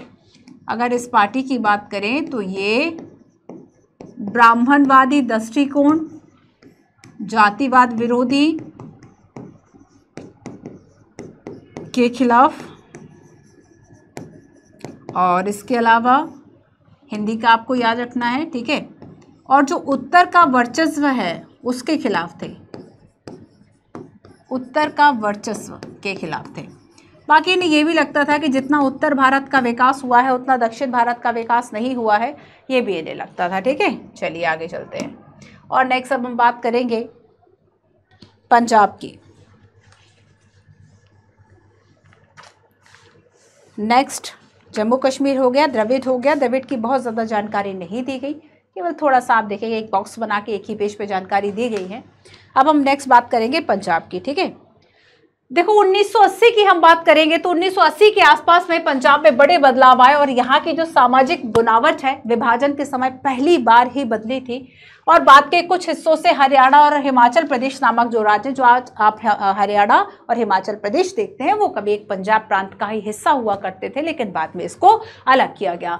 पंजाब की सामाजिक संरचना इससे भी बदल गई। एक तो विभाजन के समय बदली थी, जब पार्टीशन हुआ था, दूसरी बार तब बदल गई, जब और राज्यों का विभाजन हुआ, क्योंकि भाषा के आधार पर कहीं ना कहीं लोगों ने सेपरेट किया था खुद को। तो 1950 के दशक में देश के शेष हिस्से भाषाई आधार पर पुनर्गठित किया गया, लेकिन पंजाब को उन्नीस तक इंतज़ार करना पड़ा और 66 में पंजाबी भाषी प्रांत का निर्माण हुआ और सिखों की राजनीतिक शाखा 1920 के दशक में अकाली दल की इसमें बड़ी भूमिका होगी, उसको हम पढ़ेंगे। अकाली दल का गठन हुआ और अकाली दल ने क्या किया? पंजाबी सूबा का गठन किया। पंजाबी सूखा जो पंजाबी भाषी थे, वो इस सूबे में बहुसंख्यक हो गए, है ना?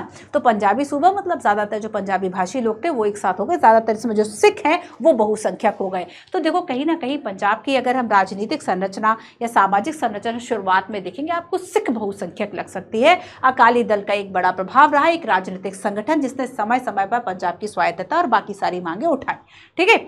चलो तो अब हम इसमें तीन बातों को समझना है कि एक तो राजनीतिक संदर्भ यहाँ का क्या था, दूसरा हिंसा का चक्र, हिंसा के चक्र में हम बात करेंगे, किस तरीके से उग्रवादी जो एक आंदोलन वहाँ पर चलाया गया, अलगाववाद चलाया गया, अलग राष्ट्र की मांग एक तरीके से की जाने लगी। कैसे? उन लोगों ने जो गोल्डन टेंपल है, उसको एक हथियारबंद किले के रूप में रख लिया।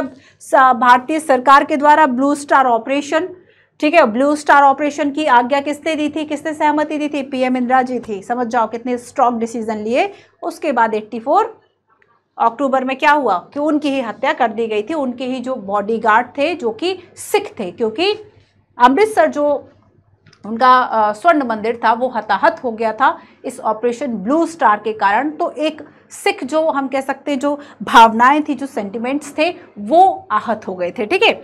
शांति की ओर कैसे बढ़े? तो राजीव गांधी लोंगोवाल समझौता की बात करेंगे। ये पूरा राजनीतिक संदर्भ था। क्लियर है? चलिए तो यहाँ पर हम कुछ कुछ आपको ये पॉइंट्स देखने को मिलेंगे। अकाली दल जो 1920 के दशक में जिसका गठन हुआ पंजाबी सूबा पंजाबी सूबा में क्या है? जो सिख थे, वह बहुसंख्य हो गए थे। तो 1960 1967 और 1977 में अकाली दल की जो सरकार है, वह बनी। कांग्रेस में आपने नरमपंथी और गर्मपंथी सुने थे ना, ठीक वैसे ही अकाली दल में भी नरमपंथी थे, जो सामान्य रूप से उतनी वैसी हिंसा और सारी चीज़ों का इस्तेमाल नहीं कर रहे थे। आसानी से जो शासन सरकार है, चला रहे हाँ। स्वायत्तता और अधिकार डिमांड में था उनका, है ना? सिख वर्चस्व, बहुसंख्य हो जाना, ये भी उनकी डिमांड में था। पंजाबी भाषा का वर्चस्व जो है, वह उनकी डिमांड में था। लेकिन अब उसमें जो हम कह सकते जो चरमपंथी थे, एकदम एक्सट्रीमिस्ट मतलब कि नहीं, अब तो बस साथ में नहीं रहना है एकदम अलग राष्ट्र ही चाहिए, खालिस्तान चाहिए। तो हम देखेंगे कि अब जब खालिस्तान की मांग जो है वह वही चरमपंथी करेंगे, ठीक है? So, Swarn Mandir operation blue star, PM Indira Gandhi की हत्या, सिख समुदाय के प्रति हिंसा 1984 जो सिख दंगे थे 2005 में पीएम मनमोहन सिंह जो थे हमारे, उन्होंने माफ़ी मांगी थी 1984 में। 1984 के सिख दंगों के बाद, ठीक है? चलो तो उसकी भी हम बात करेंगे। उन्होंने हाँ 11 अगस्त 2005 को राज्यसभा में उन्होंने एक तरह से सार्वजनिक रूप से जो माफ़ी है वह मांगी थी कि बहुत ज़्यादा जो हिंसा हुई सिखों के प्रति, सिख समुदाय के प्रति उसके लिए। और राजीव गांधी लोगोवाल समझौता की बात करेंगे तो ये चार पाँच पॉइंट्स हम देखेंगे। इसी क्रम से हमें पढ़ना है, ठीक है? क्लियर है? चलो। तो शुरू करेंगे। और करंट अफेयर में याद रख लेना। करंट अफेयर में भी खालिस्तान आंदोलन जो है, वो उसकी मांग फिर से उठी। सरकार ने क्या कदम उठाए, क्या इसके उपाय हो सकते थे, ये आपके लिए मेंस का है, ठीक है? ये आप करेंगे बच्चों कि क्या खाली, देखो पृष्ठभूमि सबसे पहले तो ये मांग कहाँ से उठी है? थोड़ा सा बैकग्राउंड आपको लिखना है, पृष्ठभूमि, भूमिका, वर्तमान विवाद क्या है, क्यों है? आप मेंस के लिए आंसर राइटिंग करेंगे। वर्तमान विवाद क्या और क्यों? दो शब्दों को हमेशा ढूंढें क्या और क्यों ठीक है? और इसका एक समाधान क्या हो सकता है? तो संविधान के दायरे में रहकर आपको समाधान देना है। तो ये आपको थोड़ा सा पढ़ना होगा।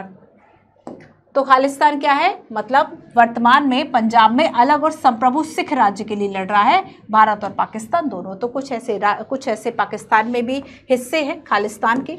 चलिए। सो so, पहले हम पढ़ते हैं। 1920 से शुरू करेंगे राजनीतिक संदर्भ। 1920 से शुरू करेंगे राजनीतिक संदर्भ। पंजाब। राजनीतिक संदर्भ। थोड़ी सी यहाँ की राजनीति समझ लें। 1920 नहीं 1920 नहीं 1920 का केवल एक पॉइंट है अकाली दल वाला। अब यहाँ पर देखो बच्चों, शुरुआत होगी, वही अकाली दल से शुरू कर लो। 1920 में अकाली दल का जो गठन है, वह किया गया।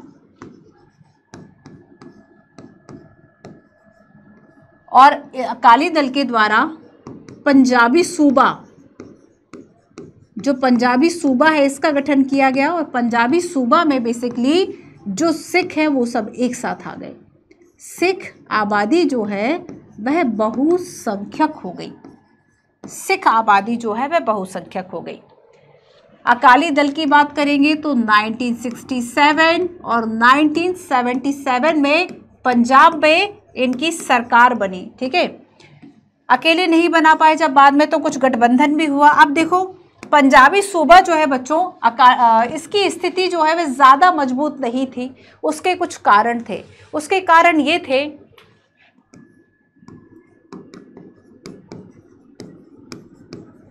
पंजाबी सूबा, ठीक है, इसकी जो संकल्पना थी, स्थिति जो थी वह थोड़ी कमज़ोर थी डावाडोल थी। अब ये डावाडोल क्यों थी? इसके दो तीन कारण थे। पहला कारण ये था कि ये जो स्वीकृति है ना वो पूरी जगह नहीं होती। देखो समटाइम्स क्या होता है कि कितने लोग जो है वो एक्सट्रीम लेवल पर जाके सोच पाते हैं कि नहीं। सो so, यहाँ पर देखो अकाली दल ने जो बाद में अकाली दल ने जो ये सरकार बनाई तो सबसे पहली बात तो थी कि सरकार ने जो पंजाब की सरकार जो राज्य सरकार थी केंद्र सरकार ने इसको बार बार बर्खास्त किया और जब बर्खास्त किया तो एक प्रॉब्लम ये थी। दूसरी प्रॉब्लम ये थी कि हिंदुओं के बीच समर्थन नहीं था और यहाँ पर हिंदू सिख जो जो हिंदू थे, हिंदू पंजाबी थे, उनकी भी संख्या ठीक ठाक थी। और तीसरी बात ये थी कि जो सिख समुदाय है ना, वह भी बाकी धर्मों की तरह जाति और वर्ग में बटा हुआ था। तो इनकी आपसी जो एकता है, उसमें भी ज़रा समस्या थी और ऐसे में हम कहें कि अकाली दल जो गठबंधन से सरकार इसने बनाई, उसकी स्थिति बहुत मज़बूत नहीं रह सकी। अब आगे हम देखेंगे बच्चों कि 1970 का दशक। 1970 का दशक और पंजाब के क्षेत्र में स्वायत्तता की जो मांग है, स्वायत्तता की मांग बहुत ज़ोर से उठी इस समय, है ना? 1900 और ऐसा नहीं था कि कोई सारा पंजाब या फिर सारा अकाली दल इस चीज़ को बोल रहा है, बल्कि कुछ एक ऐसा तबका था, एक ग्रुप था, जो कि बहुत ज़्यादा इस चीज़ को बोल रहा था कि नहीं, हमें अलग से एक प्रांत चाहिए, एक अलग ही स्वायत्तता की जो बात है, वह हो रही थी। अब 1973 में आनंदपुर में एक सम्मेलन हुआ, जिसे कि आनंदपुर साहब प्रस्ताव कहा जाता है। 1973 1973 आनंदपुर आनंदपुर साहब प्रस्ताव। इसमें दो तीन बातें इंपॉर्टेंट रूप से रखी गई। एक तो देखो, क्षेत्रीय स्वायत्तता की बात की गई। क्षेत्रीय स्वायत्तता की बात की गई। कहा गया कि केंद्र और राज्य के जो संबंध है, इनको फिर से रीडिफाइन किया जाए। केंद्र राज्य संबंध को पुनर्भाषित, पुनर्परिभाषित किया जाए और सिख वर्चस्व की बात की गई बच्चों। सिख डोमिनेंस सिख वर्चस्व की बात की गई और यहाँ पर एक तरह से हम ये कह सकते हैं कि अलग सिख राष्ट्र बनाने की जो मांग है, वह यहाँ पर ज़ोर की। 1980 में जो अकाली दल की सरकार थी, उसको बर्खास्त किया गया। 1973 तक आ गए 1980 तक चलो अब। उन्नीस देखो, इसमें जो इतनी सारी इन्फॉर्मेशन है वह आप कुछ ऐसे याद कर सकते हैं कि कुछ घटनाओं को याद कर लें, कुछ वर्षों को याद कर लें, वहाँ से चीज़ों का जो घटनाक्रम है, वह समझ लें। उन्नीस में क्या हुआ था कि जो अकाली दल है, अकाली दल की सरकार को बर्खास्त कर दिया गया। ठीक है? 1980 में अकाली दल की जो सरकार है, इसको बर्खास्त किया और इसके बाद हम देखेंगे कि जो कुछ चरमपंथी थे, इन्होंने किसकी मांग की? खालिस्तान की। इन्होंने खालिस्तान की मांग की। याद रखना, सबसे लास्ट में है ना? खालिस्तान वाला पॉइंट है। इन्होंने क्या किया? चरमपंथियों ने खालिस्तान की मांग की। तो ये यहाँ का राजनीतिक संदर्भ था। अब हिंसा का चक्र हम थोड़ा सा देख लें। सेकंड हिंसा का चक्र कैसे शुरू हुआ? देखो, जब सत्ता जो है, नरमपंथी अकाली दल, नरमपंथी अकालियों मतलब जो थोड़ा सा ठीक तरीके से सोचते थे, नरमपंथी थे, जिनकी नीतियाँ उतनी स्ट्रांग उतनी अगेंस्ट नहीं थी केंद्र सरकार के सो नरमपंथी अकालियों के हाथ से जब सत्ता और शक्ति जो है, इसका ट्रांसफ़र हुआ किसको? चरमपंथियों को। तब इन्होंने क्या किया? सशस्त्र विद्रोह किया। सशस्त्र विद्रोह और अलग राष्ट्र और जो खालिस्तान है, इसकी मांग को बहुत तेज कर दिया। अब देखो, सिखों का जो तीर्थ स्थल कहा जाता है, स्वर्ण मंदिर, गोल्डन टेंपल स्वर्ण मंदिर गोल्डन टेंपल इन चरमपंथियों ने क्या किया? इसको एक हथियारबंद किले के रूप में। उग्रवादियों ने,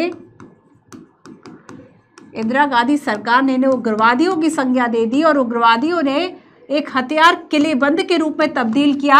अब ऐसे में आती है इंदिरा गांधी और इंदिरा गांधी ने कहा कि इन उग्रवादियों से आज़ादी और पंजाब देखो अगर Indira Gandhi operation blue star नहीं करती और इतना स्ट्रॉन्ग डिसीज़न नहीं लेती, माना जाता है कि पंजाब में अगर शांति हुई थी और हिंसा और ये सारी चीज़ें अगर इस पर एक स्टे सा लग गया था, उसके पीछे कारण था इतनी स्ट्रॉन्ग कार्रवाई operation blue star. So Indira ji ने क्या किया कि यहाँ पर सैन्य कार्रवाई के आदेश दे दिए। सैन्य कार्रवाई। और ये जो सैन्य कार्रवाई थी, इसको नाम क्या दिया? Operation blue star.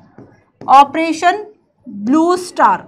और इसके अंतर्गत अब जो सेना है, वह स्वर्ण मंदिर में, ठीक है, गोल्डन टेंपल में जो है, वह गई और यहाँ पर उग्रवादियों को यहाँ से आज़ाद करा गया, उग्रवादियों को यहाँ से भगाया गया मार के, ठीक है। अब आगे देखो, thirty first October, Indira Gandhi shot at आप देखेंगे कि यहाँ पर द टाइम्स ऑफ़ इंडिया जो है, उसका न्यूज़ है, जिसमें कि थर्टी फ़र्स्ट अक्टूबर 1984 1984 है ना? थर्टी फ़र्स्ट अक्टूबर 1984 को इंदिरा जी की गोली मारकर हत्या इनके ही बॉडीगार्ड ने कर दी थी। और ये जो इनके अंगरक्षक बॉडीगार्ड थे, ये सिख संप्रदाय से थे। ये जो इनके अंगरक्षक बॉडीगार्ड थे और बेसिकली इनके जो सेंटीमेंट वे इसलिए इतने ज़्यादा हर्ट हो गए थे क्योंकि स्वर्ण मंदिर जो कि इनका तीर्थ स्थान था, सिखों का तीर्थ स्थान था, उस पर पुलिस और सैन्य कार्रवाई कराने से बहुत ही ज़्यादा शत विशत हो गया था और इस तरीके से क्या किया कि यहाँ पर इंदिरा गांधी जी की जो हत्या है, वह कर दी गई थी और ऐसे में बच्चों, सिख समुदाय के प्रति अब हिंसा जो है, वह शुरू हो गई थी दिल्ली में, पंजाब में, सिख दंगे शुरू हो गए थे 1984 में ही। इसके बाद से ही बहुत ज़्यादा हम देखेंगे सिख समुदाय के विरुद्ध जो है वह हिंसा हुई। ठीक है? और पीएम ने 2005 में हम देखेंगे कि यहाँ पर मनमोहन सिंह जी जब पीएम बने थे 2005 में, तब उन्होंने एक जो माफ़ी है वह मांगी थी। ठीक है? 2005 में इन्होंने माफ़ी मांगी थी। सिख समुदाय से ही नहीं, बल्कि पूरे भारत राष्ट्र से माफ़ी मांगने में मुझे कोई संकोच नहीं, क्योंकि 1984 में जो कुछ हुआ, वह राष्ट्र की अवधारणा और संविधान के लिखे का नकार था। मतलब संविधान में ऐसा नहीं लिखा, है ना? तो संविधान को एक तरीके से इस चीज़ में नहीं माना। तो यहाँ पर ये आपको याद रखना है कि 2005 में, ठीक है, आप इस स्टेटमेंट का यूज़ मेन्स आंसर राइटिंग में कर सकते हो। अब पंजाब में शांति कैसे हुई? तो यहाँ पर आपको एक तरफ़ संत हरचंद से लोंगोवाल और दूसरी तरफ़ आपको राजीव गांधी, इंदिरा गांधी जी की हत्या के बाद राजीव गांधी जो है उनको नेक्स्ट पीएम बनाया गया। अगले जैसे ही चुनाव हुए एक साल के बाद और उसके बाद हम देखेंगे कि राजीव गांधी पीएम के तौर पर आए। 84 से 89 के बीच भारत के पीएम रहे, इंदिरा गांधी के पुत्र थे और 1980 के बाद की राजनीति में सक्रिय हुए। देखो, जब इंदिरा गांधी का समय था, हमने पढ़ा था लास्ट में कि एक उसमें आ, कमी ये निकाली जाती है कि राजीव गांधी जो कि इंदिरा गांधी के पुत्र थे उनका अनावश्यक राजनीति में हस्तक्षेप था ठीक है? सो ये 1980 के बाद की राजनीति में सक्रिय हुए। पंजाब के आतंकवादियों और मीजो विद्रोही, देखो आगे हम जब पूर्वोत्तर की बात करेंगे, तब राजीव गांधी एक मीजो विद्रोहियों के साथ भी समझौता करेंगे। सो मीजो विद्रोही और असम के छात्र संघ से समझौता करेंगे। खुली अर्थव्यवस्था, कंप्यूटर प्रौद्योगिकी के हिमायती थे। सहेली तमिल समस्या को सुलझाने के लिए भारतीय शांति सेना को श्रीलंका की सरकार के अनुरोध पर श्रीलंका भेजा था और जो लिट्टे आत्मघाती के द्वारा जो हत्या है इनकी, वह हो गई थी, है ना? सो so, यहाँ पर ये राजीव गांधी हैं। अब देखो शांति की ओर थोड़ा सा देख ले। लास्ट पॉइंट है इसमें कि पंजाब में जो शांति है वह कैसे हुई?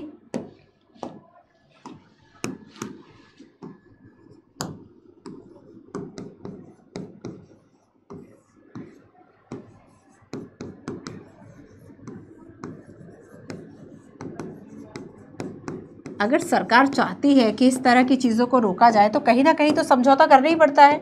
और ऐसा ही समझौता 1984 में 1984 में राजीव गांधी प्रधानमंत्री बनते हैं। राजीव गांधी जो है, ये प्रधानमंत्री बने, ठीक है? और इन्होंने अकाली दल के अध्यक्ष थे। अकाली दल अध्यक्ष हरचंद सिंह लोंगोवाल। हरचंद सिंह लोंगोवाल। ठीक है? लोंगोवाला। अब देखो, इसे राजीव गांधी और हरचंद से लोंगोवाला समझौता कहा जाता है या इसे पंजाब समझौता भी कहा जाता है? या इसे क्या कहा जाता है? पंजाब समझौता। अब देखो, इसमें क्या क्या प्रावधान किए गए? हम देखेंगे, चंडीगढ़ को लेकर बड़ा एक विवाद था। तो चंडीगढ़ को लेकर जो विवाद था, चंडीगढ़ पंजाब को दे दिया गया इस समझौते के अनुसार चंडीगढ़ जो है,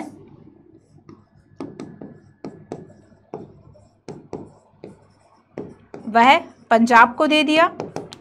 पंजाब और हरियाणा के बीच में सीमा विवाद था। पंजाब और हरियाणा सीमा विवाद। इसको सुलझाने की बात की गई और कहा कि इसके लिए जो आयोग है वह बनाए। इसके अलावा पंजाब और हरियाणा के बीच में रावी और व्यास नदी जल विवाद था। इसके लिए अलग ट्रिब्यूनल बनाने और इन सब के सुलझाने की जो बात है वह की गई। एक ट्रिब्यूनल बनाने की बात की गई इसके बाद हालाँकि हम देखेंगे कि ऐसा नहीं है कि पूरी तौर पर जो शांति है वह हो गई थी, ठीक है? इसके बाद भी देखेंगे हम कि उग्रवाद जो है वह कहीं ना कहीं चलता रहा, ठीक है? समझौते तुरंत जो एक हिंसा का चक्र चल रहा था, वो तो कहीं ना कहीं इससे रुक गया, लेकिन फिर उसके बाद भी स्थायी रूप से शांति पंजाब में नहीं हो पाई, ठीक है? हम देखेंगे कि नाइनटीन में पंजाब में जब चुनाव हुए तो केवल 24 परसेंट वोटिंग हुई थी, सोचो 24 परसेंट वोटिंग हुई थी, है ना? तो यहाँ पर पंजाब में रह रहकर जो उग्रवाद, अलगाववाद की भावना पनप रही थी। सरकार के द्वारा बार बार वहाँ पर हम देखें सशस्त्र सुरक्षा बल को लगाना, भारतीय सेना का नियंत्रण करना, राष्ट्रपति शासन जैसी जैसी व्यवस्थाएँ तो इन सभी व्यवस्थाओं के द्वारा जो कंट्रोल है, वह किया गया। ठीक है? क्लियर है? चलिए। अब हम लास्ट बात करेंगे पूर्वोत्तर की। क्लियर हुआ? बहुत सारे फैक्ट हैं। हो सकता है आपको कुछ चीज़ें मिस हो रही हों। बट आप एक बार और चीज़ों को याद करेंगे, उन घटनाओं का क्रम पढ़ेंगे, अपने आप याद हो जाएगा। पूर्वोत्तर की बात करें, अब तीसरी बात, पंजाब की हो गई, जम्मू कश्मीर की हो गई, द्रविड़ आंदोलन हो गया। थोड़ी सी बात पूर्वोत्तर की करते हैं कि यहाँ के किस तरीके से स्वायत्तता की मांग उठ रही थी, क्यों अलगाववाद, अलग राष्ट्र की मांग और सारी चीज़ें हो रही थी। हर जगह की अपनी अलग कहानी अब पूर्वोत्तर की कहानी को समझते हैं। देखो, पूर्वोत्तर की जब हम बात करेंगे बच्चों तो सेवन सिस्टर्स इन्हें कहा जाता है, सात बहनें। अभी वर्तमान हम कहें सात बहनें कहा जाता है। और भारत से जो है, ये एक 22 किलोमीटर सकरी पट्टी से जुड़ा हुआ है। 22 किलोमीटर लंबी जो सकरी पट्टी है, इससे जो है ये जुड़ा हुआ है। हम देखेंगे भारत के विकास में मतलब भारत के बाकी क्षेत्रों से एक तरह से अलग थलग पड़ गया। तो यहाँ पर कारण क्या था उठने का? पूर्वोत्तर में अगर हम देखें कि अलगाववाद की भावना उठी, अलगाववाद, इसका रीज़न जो था कि बाकी भारत से या भारत के शेष हिस्सों से अलग थलग था।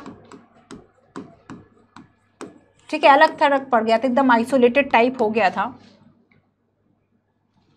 आगे देखो, यहाँ का जो विकास है, उस पर ध्यान नहीं दिया गया। विकास पर ध्यान नहीं दिया।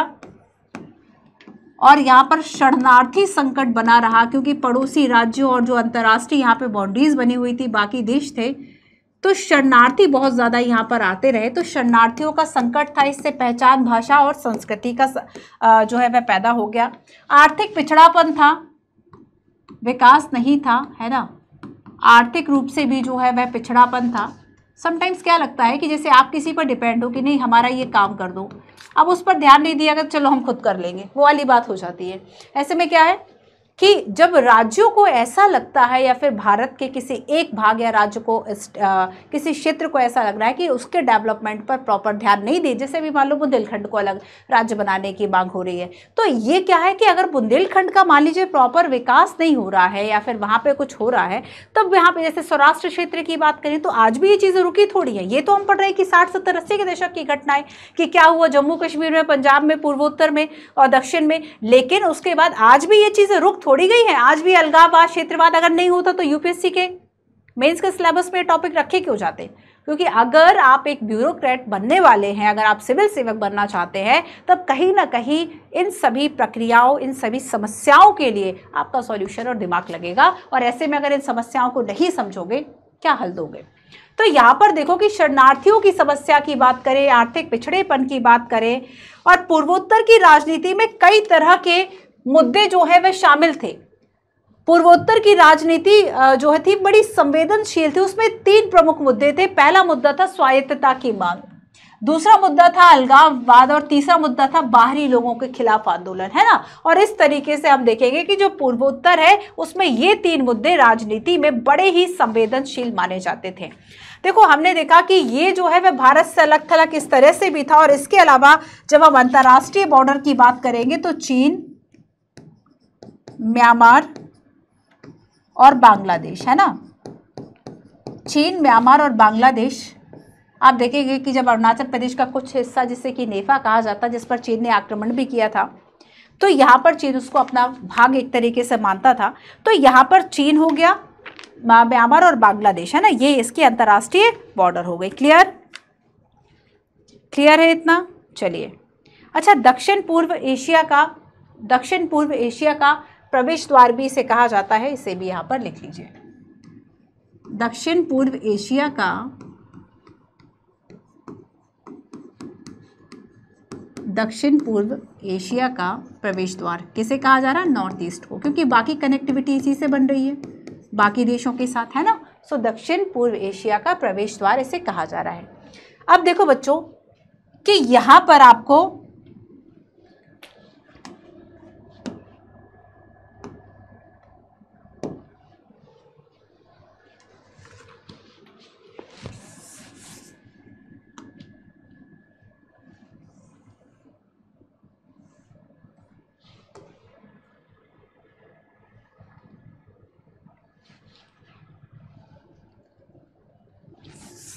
अब देखो, यहाँ पे स्वायत्तता की मांग कैसे शुरू होती है, उसको थोड़ा सा समझते हैं, ठीक है थीके? मैप आपको दिख रहा है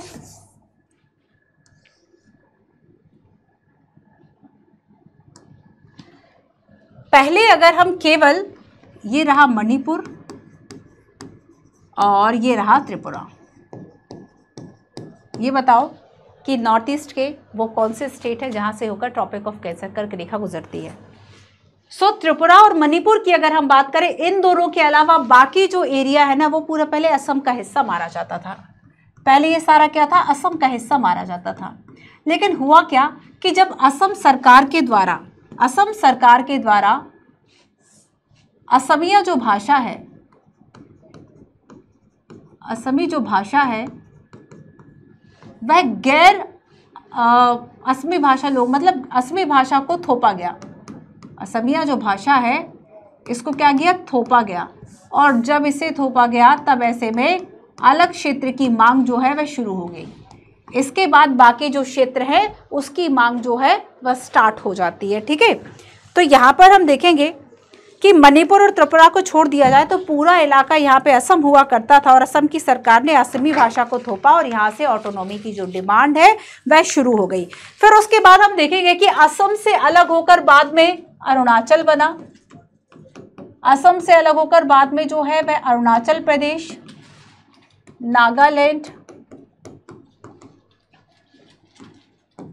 मेघालय मिजोरम। ठीक है ये बाद में बने।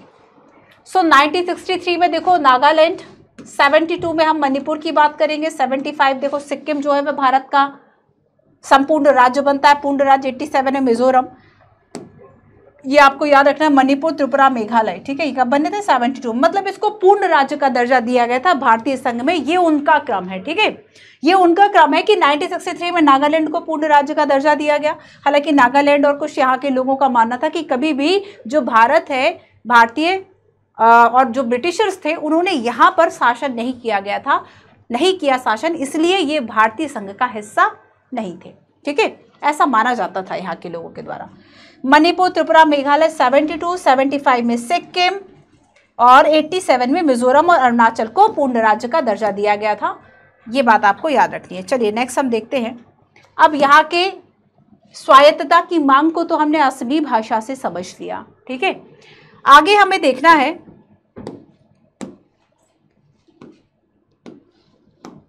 अलगाववादी आंदोलन कैसे शुरू हुए? अलगाववादी आंदोलन।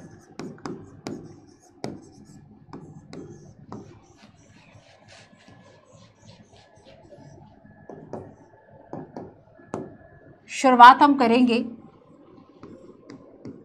मीज़ो पर्वतीय एरिया से। शुरुआत हम करेंगे मीज़ो पर्वतीय क्षेत्र से। मीज़ो पर्वतीय क्षेत्र जो कि असम के अंतर्गत ही, असम घाटी के अंतर्गत ही एक स्वायत्त क्षेत्र की मांग करने लगा। असम घाटी के भीतर स्वायत्त जिला, ठीक है? स्वायत्त ज़िले की मांग करने लगा। और ऐसे में यहाँ पर एक पॉलिटिकल पार्टी हम एक राजनीतिक संघ कह सकते हैं। मिजो नेशनल फ्रंट बनाया गया। Mizo national front. ठीक है, किसके नेतृत्व में? लाल डेंगा। लाल डेंगा के नेतृत्व में। और यहाँ पे जिस तरीके की घटनाएँ शुरू हुई, वो सशस्त्र विद्रोह था। सशस्त्र विद्रोह था जो कि 1966 से इनके लोगों के द्वारा शुरू किया गया। और ऐसे में जब भारतीय सेना ने यहाँ पर हस्तक्षेप किया नेक्स्ट घटनाक्रम क्या था?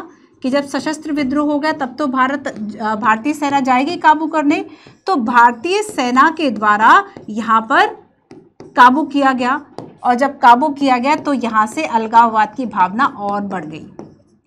अलगाववाद की भावना बढ़ गई। ठीक है? अब 1986 में यहाँ पर समझौता हुआ। 1986 1986 राजीव गांधी और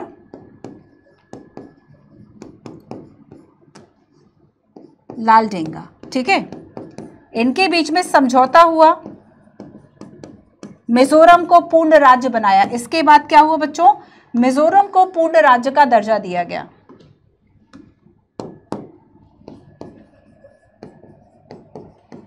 मिजोरम को पूर्ण राज्य का दर्जा मिला। और यहाँ पे जो लाल डेंगा थे, ये यहाँ के सीएम बनते हैं। ठीक है?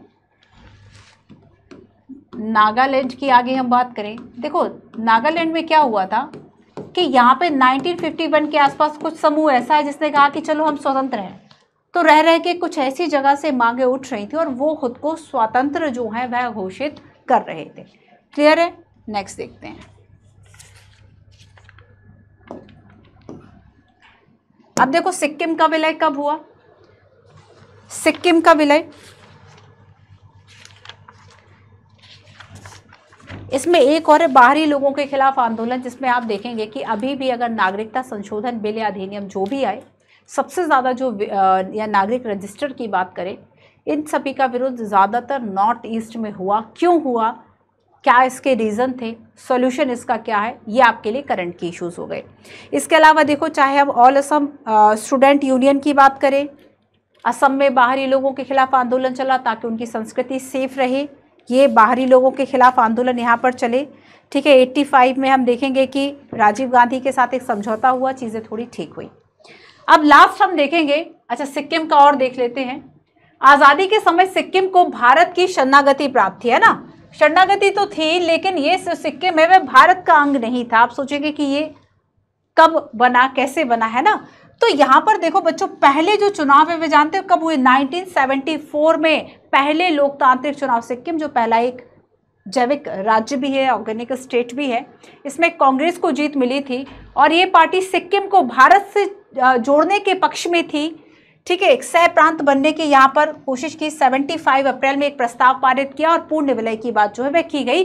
तो 1975 में एक तरीके से पूर्ण राज्य जो है वह सिक्किम का बना, ठीक है? भारत जो है वह सिक्किम का बना। अच्छा इसमें गोवा की बात और समझ लीजिए लास्ट में। गोवा एक ऐसा एक ऐसी सिटी एक ऐसी जगह जहाँ पर सबसे पहले आए थे पुर्तगाली और सबसे बाद में गए है ना? सो so, देखो 1947 में अंग्रेज़ी साम्राज्य तो ख़त्म हो गया था लेकिन पुर्तगाल और आ, ने पुर्तगालियों ने गोवा और दमनदीप आपको पता होगा कि जो आज समान नागरिक संहिता आर्टिकल 44 की बात चल रही है केवल गोवा ऐसा राज्य है जिसमें समान नागरिक संहिता जो है वह लागू की गई थी, क्योंकि यहाँ पर पुर्तगाली संहिता लागू थी पहले। उसके हिसाब से चीज़ें जो है वह चल रही थी। तो यहाँ पे आसान था इस चीज़ को लागू करना तो केवल गोवा में, अभी वर्तमान में समान नागरिक सहायता लागू है, ठीक है? तो यहाँ पर पुर्तगाल ने कहाँ पे गोवा और दमन द्वीप पे अपना जो शासन है, वो कर रखा था। तो यहाँ पर सबसे लंबे शासन काल में पुर्तगाल ने क्या किया? गोवा की जनता का दमन किया। और नागरिक अधिकारों से वंचित रखा। यहाँ पर धर्म परिवर्तन बहुत ज़्यादा कराए गए। और देखो, पुर्तगाल को गोवा से अपना शासन हटाने पर रजामंद करने की कोशिश बड़ी ही धैर्यपूर्वक की, वरना 47 के बाद ही खदेड़ सकता था भारत, लेकिन ऐसा नहीं हो हो सका। काफ़ी एक लंबा समय लग गया और दिसंबर 1961 में, दिसंबर 1961 में भारतीय सेना यहाँ पर भेजी गई।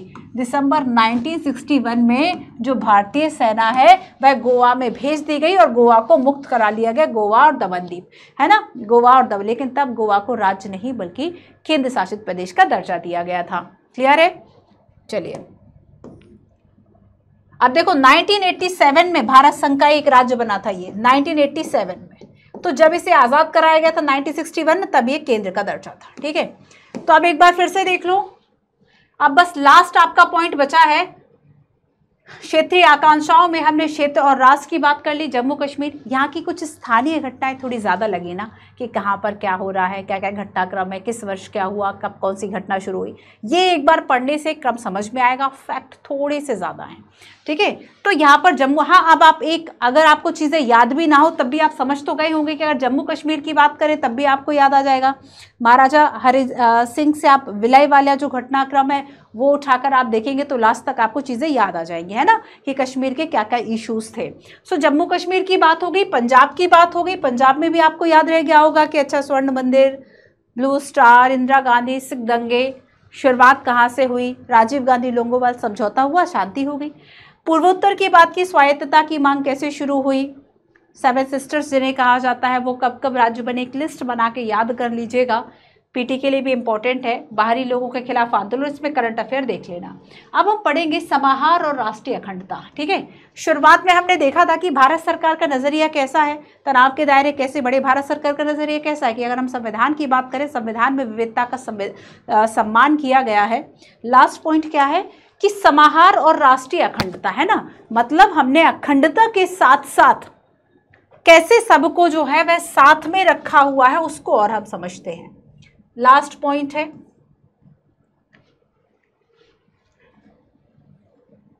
एक क्वेश्चन है, इसका आंसर भी आप देख सकते हैं इसे, जो अब हम पढ़ने वाले हैं।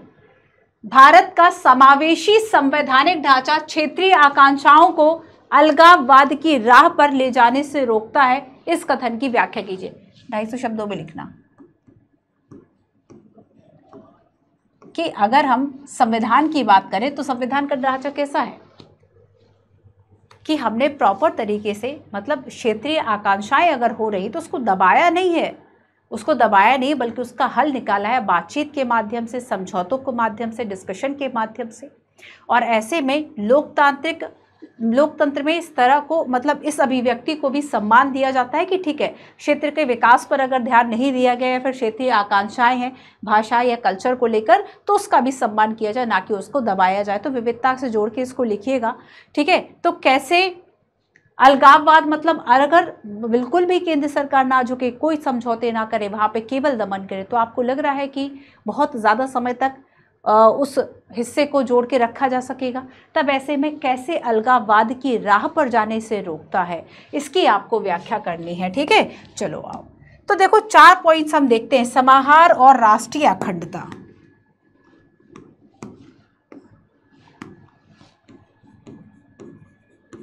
समाहार और राष्ट्रीय अखंडता।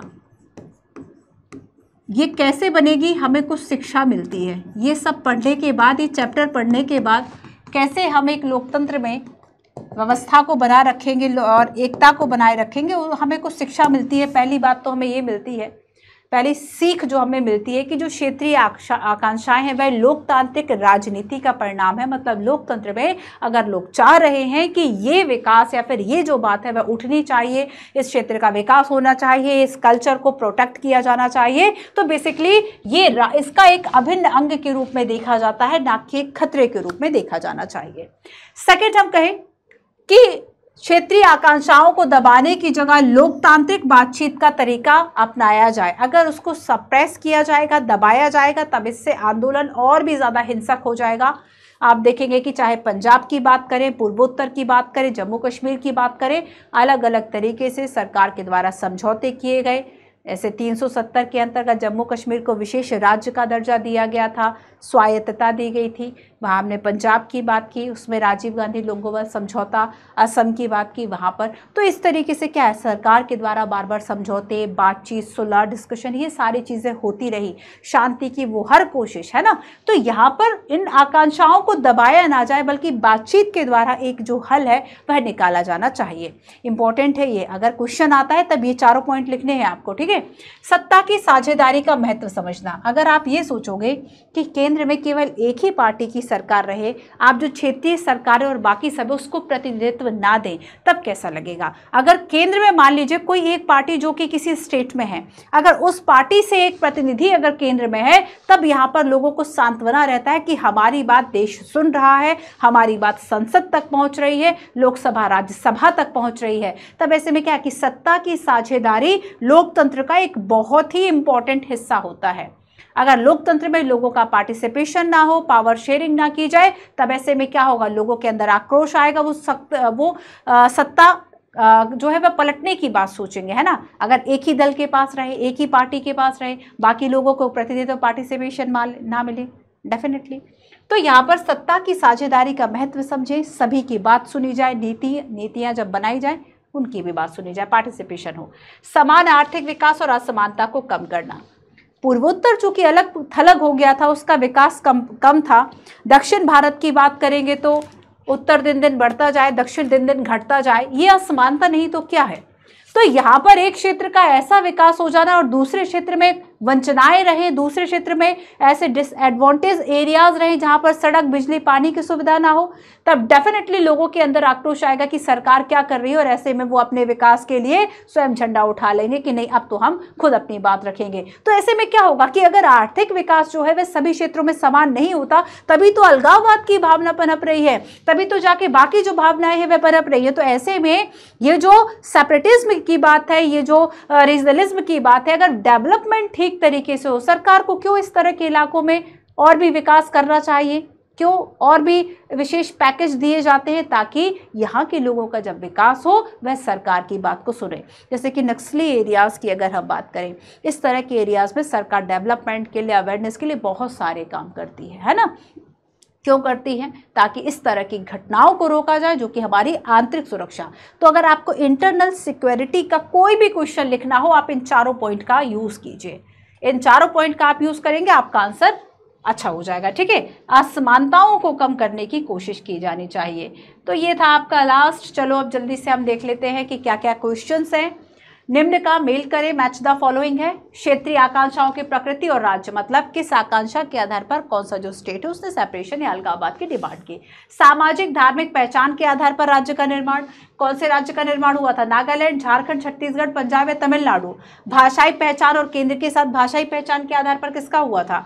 बताइए जरा, आदिवासी पहचान के आधार पर, क्षेत्रीय असंतुलन के आधार पर।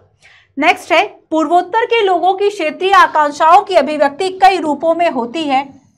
और बाहरी लोगों के खिलाफ आंदोलन, ज़्यादा स्वायत्तता की मांग, अलग देश बनाने की मांग करना, ऐसी ही कुछ अभिव्यक्तियाँ हैं। ठीक है? तो यहाँ पर आपको बताना है किस राज्य में कौन सी प्रवृत्ति ज़्यादा है तो कारण बताना है बेसिकली कि पूर्वोत्तर में ज़्यादा इस तरह की डिमांड्स क्यों है। पंजाब समझौते के मुख्य प्रावधान क्या थे? पंजाब, वही राजीव गांधी 1984 राजीव गांधी और लोंगोवाल के बीच में जो समझौता हुआ था, जैसे कि चंडीगढ़ पंजाब को दे दिया गया। हरियाणा से लेकर जो डिस्प्यूट्स थे जो वाटर डिस्प्यूट्स थे, उसके लिए भी ट्रिब्यूनल इन सब का गठन किया गया। ठीक है, क्या तनाव के कारण थे? तर्क सहित उत्तर दीजिए। नेक्स्ट क्वेश्चन है, आनंदपुर साहब प्रस्ताव विवादास्पद होने के क्या कारण थे? जम्मू कश्मीर की अंदरूनी विभिन्नताओं की व्याख्या बताइए आपकी किस तरह से जम्मू में हिंदू जो है, वह बहुसंख्या है। और बाकी कश्मीर की बात करें तो वहाँ पर कश्मीरी मुसलमान और बाकी सब लद्दाख की बात कीजिए कि बौद्ध और मुसलमान बराबर है। तो यहाँ पे अंदरूनी जो विभिन्नताएँ हैं, उसकी व्याख्या, इन विभिन्नताओं के कारण राज्य किस तरह अनेक क्षेत्रीय आकांक्षाओं ने सर उठाया। कश्मीर की क्षेत्रीय स्वायत्तता के मसले पर विभिन्न पक्ष क्या है? कौन से पक्ष आपको सही जान पड़ते, आंसर लिखना पड़ेगा बच्चों, तभी सीखोगे। जब इस तरह के आंसर्स लिखने के लिए थोड़ा सा दिमाग चलाओगे कि अच्छा इसमें ये ये पॉइंट्स आने चाहिए, इसमें मैं ऐसे लिख सकता हूँ, ऐसे लिख सकती हूँ, लिखो एक बार अच्छा नहीं आ रहा दो तीन बार लिखो। जब शुरुआत में थोड़ी थोड़ी प्रैक्टिस करते रहोगे ना, तब डेफिनेटली आप अच्छा आंसर लिख पाओगे। आप सोचो कि मैं पहला आंसर ऐसा लिख लूँ, जिसमें से आपको बारह में से दस नंबर मिल जाए इम्पॉसिबल है। वैसे भी आप देखेंगे यूपीएससी बहुत अच्छे मार्क्स देगा तो 40 50 percent max max to max होते हैं, ठीक है? अगर आपको साढ़े बारह में से पाँच या छः नंबर मिल रहे हैं, बहुत अच्छे मार्क्स माने जाते हैं। तो अगर आप सारी चीज़ों को ठीक ठीक तरीके से लिख पाते हो क्वेश्चन की डिमांड के अकॉर्डिंगली लिख पाते हो समझ के, तब डेफिनेटली अच्छे नंबर मिलते हैं। असम आंदोलन, सांस्कृतिक अभिमान और आर्थिक पिछड़ेपन की मिली जुली अभिव्यक्ति थी। सांस्कृतिक अभिमान और आर्थिक पिछड़ापन के अलग थलग हो गया, अब इसका विकास नहीं हो रहा। इसके लिए डिमांड करना ऑटोनॉमी की। हर क्षेत्रीय आंदोलन अलगाववादी मांग की तरफ़ अग्रसर नहीं होता। इसका मतलब क्या है? अगर क्षेत्र का आंदोलन हो रहा है, किसी भाषा को, के आधार पर हो रहा है कि इस भाषा को प्रमुखता दी जाए या फिर इसको रिकॉग्नाइज किया जाए, वो अलग होने की मांग थोड़ी कर रहा है। तो यहाँ पर यही आपको बताना है कि अगर कोई क्षेत्रीय आंदोलन हो भी रहा है तो वो सेपरेटिज्म नहीं है, वो अलगाववाद नहीं चाहता। ठीक है, कुछ उदाहरण देकर बताएँ। भारत के विभिन्न भागों में उठने वाली क्षेत्रीय मांगों से विविधता में एकता के सिद्धांत की अभिव्यक्ति होती है। क्या आप इससे सहमत हैं? तो ये है आपका आज का क्लास। अब होगा इसका लास्ट चैप्टर ठीक है? और इसके बाद भारतीय राजनीति नए बदलाव, जिसमें हम देखेंगे 1947 के बाद से। अभी जो वर्तमान में आप देख रहे हैं, किस तरह से सरकार काम कर रही है, और सारी चीज़ें एक छोटा सा इसका पूरा सीन समझेंगे। तो आई होप ये क्लास आपको अच्छी लगी होगी। कुछ पॉइंट्स अगर आपको लगते हैं तो जब कभी हम रिवीजन और टेस्ट जैसी लाइव क्लासेस लेकर आएँगे, तब आपके जो डाउट सेशन डाउट्स हैं, वह सुलझाए जाएँगे। चलिए मिलते हैं हम अपनी नेक्स्ट क्लास में। सो पढ़ाई करते रहिए बच्चों आप सभी। अभी आपके पास जो समय है मेंस को अच्छे से प्रिपेयर कीजिए एक एक टॉपिक्स को अच्छे से प्रिपेयर कीजिए। जो इंपॉर्टेंट चीज़ें आपको बताई जाती हैं कि यहाँ से बेसिक कर लो, ये करंट अफेयर कर लो, ये होमवर्क कर लो, उन सारी चीज़ों को कॉन्टीन्यूसली करते रहें। हाँ और रिविज़न ज़रूर करते रहें। सैटरडे, संडे ऐसा अपना टाइम टेबल बना लो कि रिविज़न करना है। डेली तौर पर करंट अफेयर देख लो तो ये एक प्रोसेस है, एक कॉन्टीन्यू कॉन्टीन्यू तरीके से चीज़ों को करते रहो। निरंतरता कंसिस्टेंसी यूपीएससी के लिए बहुत इंपॉर्टेंट होती है।